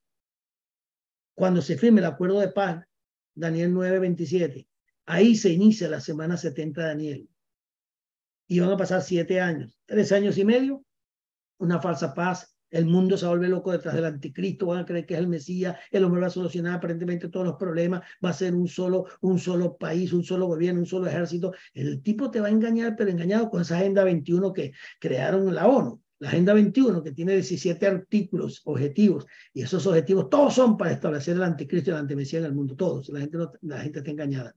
Pero durante tres años y medio va a traer una falsa paz. Y cuando digan paz y seguridad y todo el mundo crea que ya se los problemas del mundo, entonces el anticristo se quita la máscara en el templo que edifican los judíos y que están edificando, creen que es para Dios. No, eso es para la antimesía. Ahí se mete la antimesía y va a haber una abominación. Durante el periodo del anticristo en Jerusalén va a haber una, una abominación tan grande que la Biblia ahí en Apocalipsis 11, 8 lo llama Sodoma y Egipto. O sea, se va a convertir en una Babilonia. Durante esos tres años y medio la abominación, así como entró en el templo en el año 164 antes de Cristo a través de eh, a través de Antíoco Epífanes eh, eh, cuarto, cuando vino y se, sacrificó una cerda, un cerdo hembra, una cerda, y la sacrificó en el templo, hizo toda esa abominación. Durante tres años y pico, estuvo haciendo abominación ahí en Jerusalén, ahí donde está esa cúpula Ahí estaba el templo. Y ahí se metió ese tipo a hacer, ahí esa cúpula que usted ve detrás de mí, la ve ahí, ahí está, ahí es que tiene que ir, ahí donde van a construir el templo. Lo otro es la mezquita. Pero ahí van a tumbar eso, el anticristo va a permitir que tumben eso, porque él va a dominar a los musulmanes. Los musulmanes están esperando su Mesías que se llama el Mahdi. El Mahdi es el Mesías. Y ellos van a creer que ese Mahdi es ese falso Mesías. Y le van a hacer caso. Y él va a mandar a tumbar eso y van a permitir que los judíos construyan su templo allí porque lo están construyendo en desobediencia a Dios, porque Dios nunca le mandó a construir ese templo. Ese templo fue destruido. Jesús no mandó a construir un templo para el tercer templo. Jesús es el tercer templo. Nosotros somos el templo de Dios. El sacerdocio levítico fue abolido. El, templo judío fue abolido. El, el sacrificio de animales fue abolido y la ley mosaica fue abolida. Entonces, todo eso es una abominación a Dios. Todo eso, y es el anticristo quien va a convertir la ciudad de Jerusalén en la gran ciudad que habla la Biblia, que será quemada, que será, que va a venir fuego del cielo. Eso va a ser terrible lo que va a suceder en Jerusalén. Durante esos tres años y medio, Jerusalén se va a convertir en, en una Sodoma y Gomorra. Dice la Biblia, se lo acabo de leer donde murió, dice que Sodoma y Gomorra, donde murió el Mesías, fue crucificado. Yo no te estoy echando cuento, estoy leyendo lo que dice la Biblia. Lo que pasa es que la gente no quiere oír estas cosas porque son muy fuertes y no las entiende la gran mayoría porque tienen una teología religiosa pagana por siglos y no han despertado a la verdad. Necesitamos que despiertes a la verdad del Evangelio. Es tiempo de despertar, es tiempo de entender quién es, quiénes son los israelíes, quiénes son los israelitas quiénes son salvos, quiénes son, no son salvos y cuál es el verdadero pueblo de Dios. Todo judío y gentil convertido a Yeshua, nacido de nuevo, que vive una vida recta, una vida recta para Dios y agrade al Señor y haga la voluntad y propósito de Dios, ese es el verdadero pueblo de Dios, no aquellos que dicen ser y no son. Abra sus ojos espirituales, que el Señor me los bendiga a todos. Eh, mañana vamos a hablar sobre el pueblo palestino. ¿De dónde sale ese pueblo palestino? Bueno, desde el tiempo de Adriano, ya se lo dije, año 135, él llamó todo eso Palestina, que es lo mismo que decir filisteo, porque filisteos en latín se dice palestino. Entonces, eso vino como una abominación sobre esa tierra para tratar de crear guerra. Al poner el nombre de Palestina, creó una guerra entre árabes y judíos total y completa hasta el día de hoy. Mañana les voy a hablar dónde sale Palestina, dónde salen los palestinos, cómo Yasser Arafat fundó, dónde fundó eh, la, la, la, OLP, la Organización de, Liberación de Palestina, cómo la fundó Yasser Arafat, dónde la fundó, en Egipto, cuándo, por qué, cómo, dónde, y de a qué se debe toda esta gran batalla de los palestinos. ¿Cuál es la diferencia de los palestinos que ven en la Gaza, en la, franja de Gaza, que está ahí pegado al mar eh, Mediterráneo, en la parte sur eh, oeste de, de Israel, ahí está Gaza, esa era la tierra de los gigantes, era la tierra de, de los filisteos. Y durante siglos, en el tiempo de cuatro mil años atrás, ahí estaban los filisteos metidos por todas esas regiones. Gente pagana, la cual expulsó Dios a través de Josué, esas ciudades grandes las expulsó, los exterminó porque eran simientes satánicas hasta el día de hoy. Entonces vamos a entender mañana qué es Palestina, cómo se fundó, quién fue Yasser Arafat, quién fue su padre, qué fue lo que trataron de hacer y por qué Israel en el acuerdo de Oslo, 1993, con Clinton, aceptó el arreglo de darle esa tierra, esa franja de Gaza a los palestinos. ¿Por qué? ¿Qué dice la Biblia de, Israel eh, con respecto a las naciones? Que sean misericordiosos, que no. Entonces ellos actuaron bajo una cierta actitud de querer compartir, pero esta gente, una vez que se firmó ese acuerdo, empezaron a echar plomo a Israel otra vez. Y luego surge el grupo terrorista dedicado a destruir que se llama Hamas. Te voy a mostrar al otro día, pasado mañana, si me da tiempo mañana o pasado mañana, quién es Hamas, dónde está en la Biblia Hamas, está profetizado Hamas, sí, hay versículos que hablan de Hamas, sí, y quién es Hamas, de dónde surge, qué, qué oficio ocupa Hamas ahora mismo en el mundo espiritual contra él, por qué, eso te lo voy a dar mañana. Así que te despido, que la gracia de Dios sea sobre ti, el gozo del Señor. Les recuerdo que ya les mandé, por cierto, a todos mis amados hermanos, les mandé hoy, si usted no tiene mi número, ahí la hermana eh, María Elena Márquez le va a poner mi número de teléfono, más 1-786-691-6601. Ella le va a poner mi teléfono, usted me va a escribir para que yo lo añada a la lista de difusión, yo le añado y le empieza a llegar toda mi información. Segundo, ahí le mandé todas las cuentas. Recuérdese los argentinos, tenemos tres cuentas para Argentina. La primera ya está casi llena, por eso tiene un total de un año, una cantidad por el año. Y eso lo divide en 12 meses las cantidades que podemos depositar en esa cuenta. Por eso compré dos cuentas más, conseguí abrir dos cuentas más. O sea que Argentina ahora tiene tres cuentas. Ahí se las mandé. Ahí usted puede depositar sus ofrendas, su diezmo, todo su apoyo para CLEM. Esta ofrenda va directamente para CLEM. Toda la ofrenda que se va a entregar, usted la va a depositar por CLEM. Por favor, es, la cuenta del Ministerio CLEM, Centro Latinoamericano de Estudios Ministeriales. Con esta cuenta estamos pagando todos los gastos que, hayamos que tengamos que pagar del Ministerio, más todo lo que haga falta para Radil también. Entonces, yo le mandé todas las cuentas de Venezuela, que usted puede depositar si está en Venezuela, varias cuentas. Le mandé la cuenta de Estados Unidos, le mandé el CEL también, eh, a través de Jorge Porra B, arroba con mi correo, usted puede depositar en CEL en la cuenta de Estados Unidos. En Bancolombia puede depositar también. Si lo va a hacer en Bancolombia, eso es Redil. Si lo quiere depositar ahí, también lo puede depositar en Colombia. Si la cuenta cae de Redil, deposite en Redil en Colombia, no hay problema. Son las cuentas de mi esposa, son las cuentas del ministerio, son las cuentas de Clemen, lo mismo.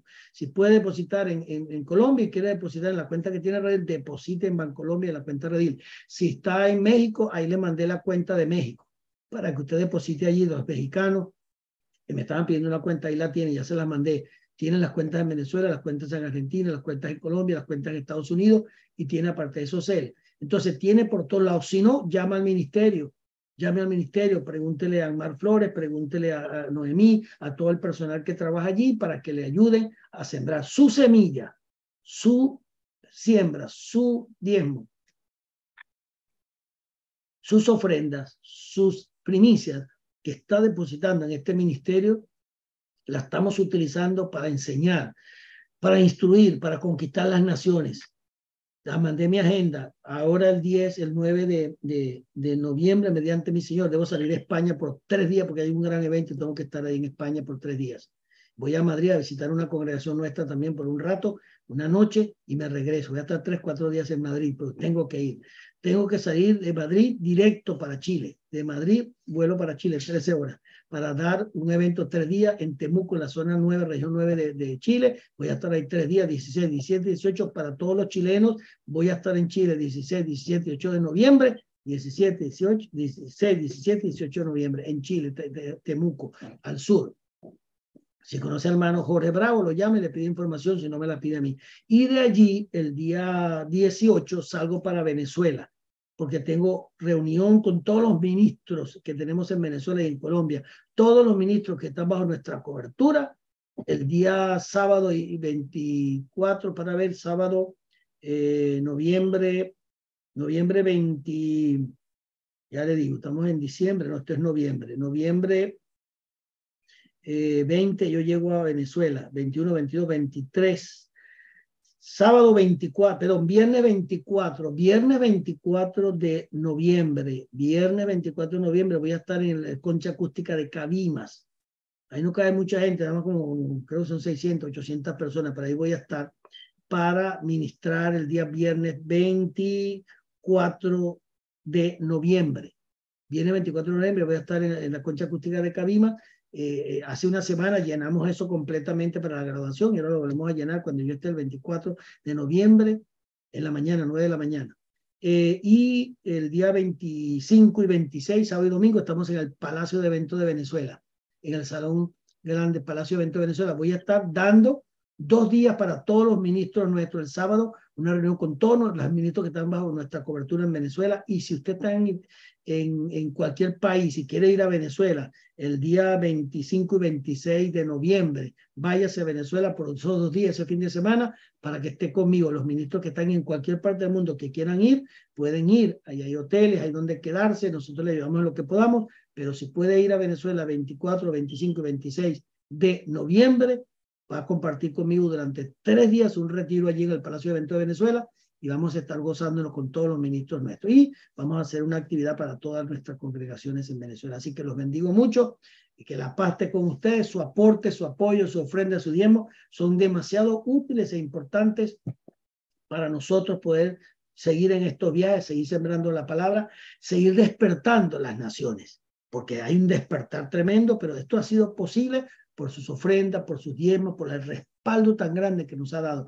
Gracias por no abandonarnos, gracias por tener fe en nosotros, gracias por creer en lo que ministramos y gracias por creer en, la, en este ministerio que Dios nos ha dado. Los bendigo, los quiero mucho, oro por ustedes, los declaro sanos, los declaro libres. Cualquier persona que esté enferma, ponga su mano sobre su área afectada ahora mismo. Ponga su mano ahí. Yo declaro salud sobre usted, liberación. Todo tumor se va, todo dolor, todo malestar, toda obra satánica, toda enfermedad, toda virosis, toda plaga, todo lo que le haya tocado, que haya enfermado su cuerpo, yo declaro ahora mismo que la mano poderosa del Señor le sana. Si hay un espíritu inmundo que lo está atormentando, lo está afectando, lo tiene tomado, lo tiene agarrado, lo tiene atado, yo reprendo ese espíritu y le ordeno que lo suelte en el nombre de Jesús. Pon tu mano allí, en tu cabeza, en tu mente, en tu cuerpo y te declaro sano. Recibe liberación ahora mismo en el nombre de Jesús. Recibe fortaleza en el nombre de Jesús. Recibe fuerzas espirituales de parte del Espíritu Santo. Recibe liberación, recibe sanidad.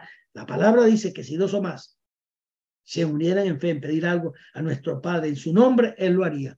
Tú y yo estamos unidos, créelo en el nombre de Jesús tú y yo nos unimos y ordenamos que esa enfermedad desaparezca. Ese espíritu inmundo que te ata se vaya de tu cuerpo. Ese cuerpo que está enfermo, que está dolido, se sana. Ese tumor, ese cáncer, ese dolor, ese malestar, esa enfermedad que te aqueja, en el nombre de Jesús yo ordeno que salga de tu cuerpo, quede sano y libre por el poder de su palabra, que liberta, sana, da vida, da gozo, da paz, da fortaleza, da prosperidad en todo sentido.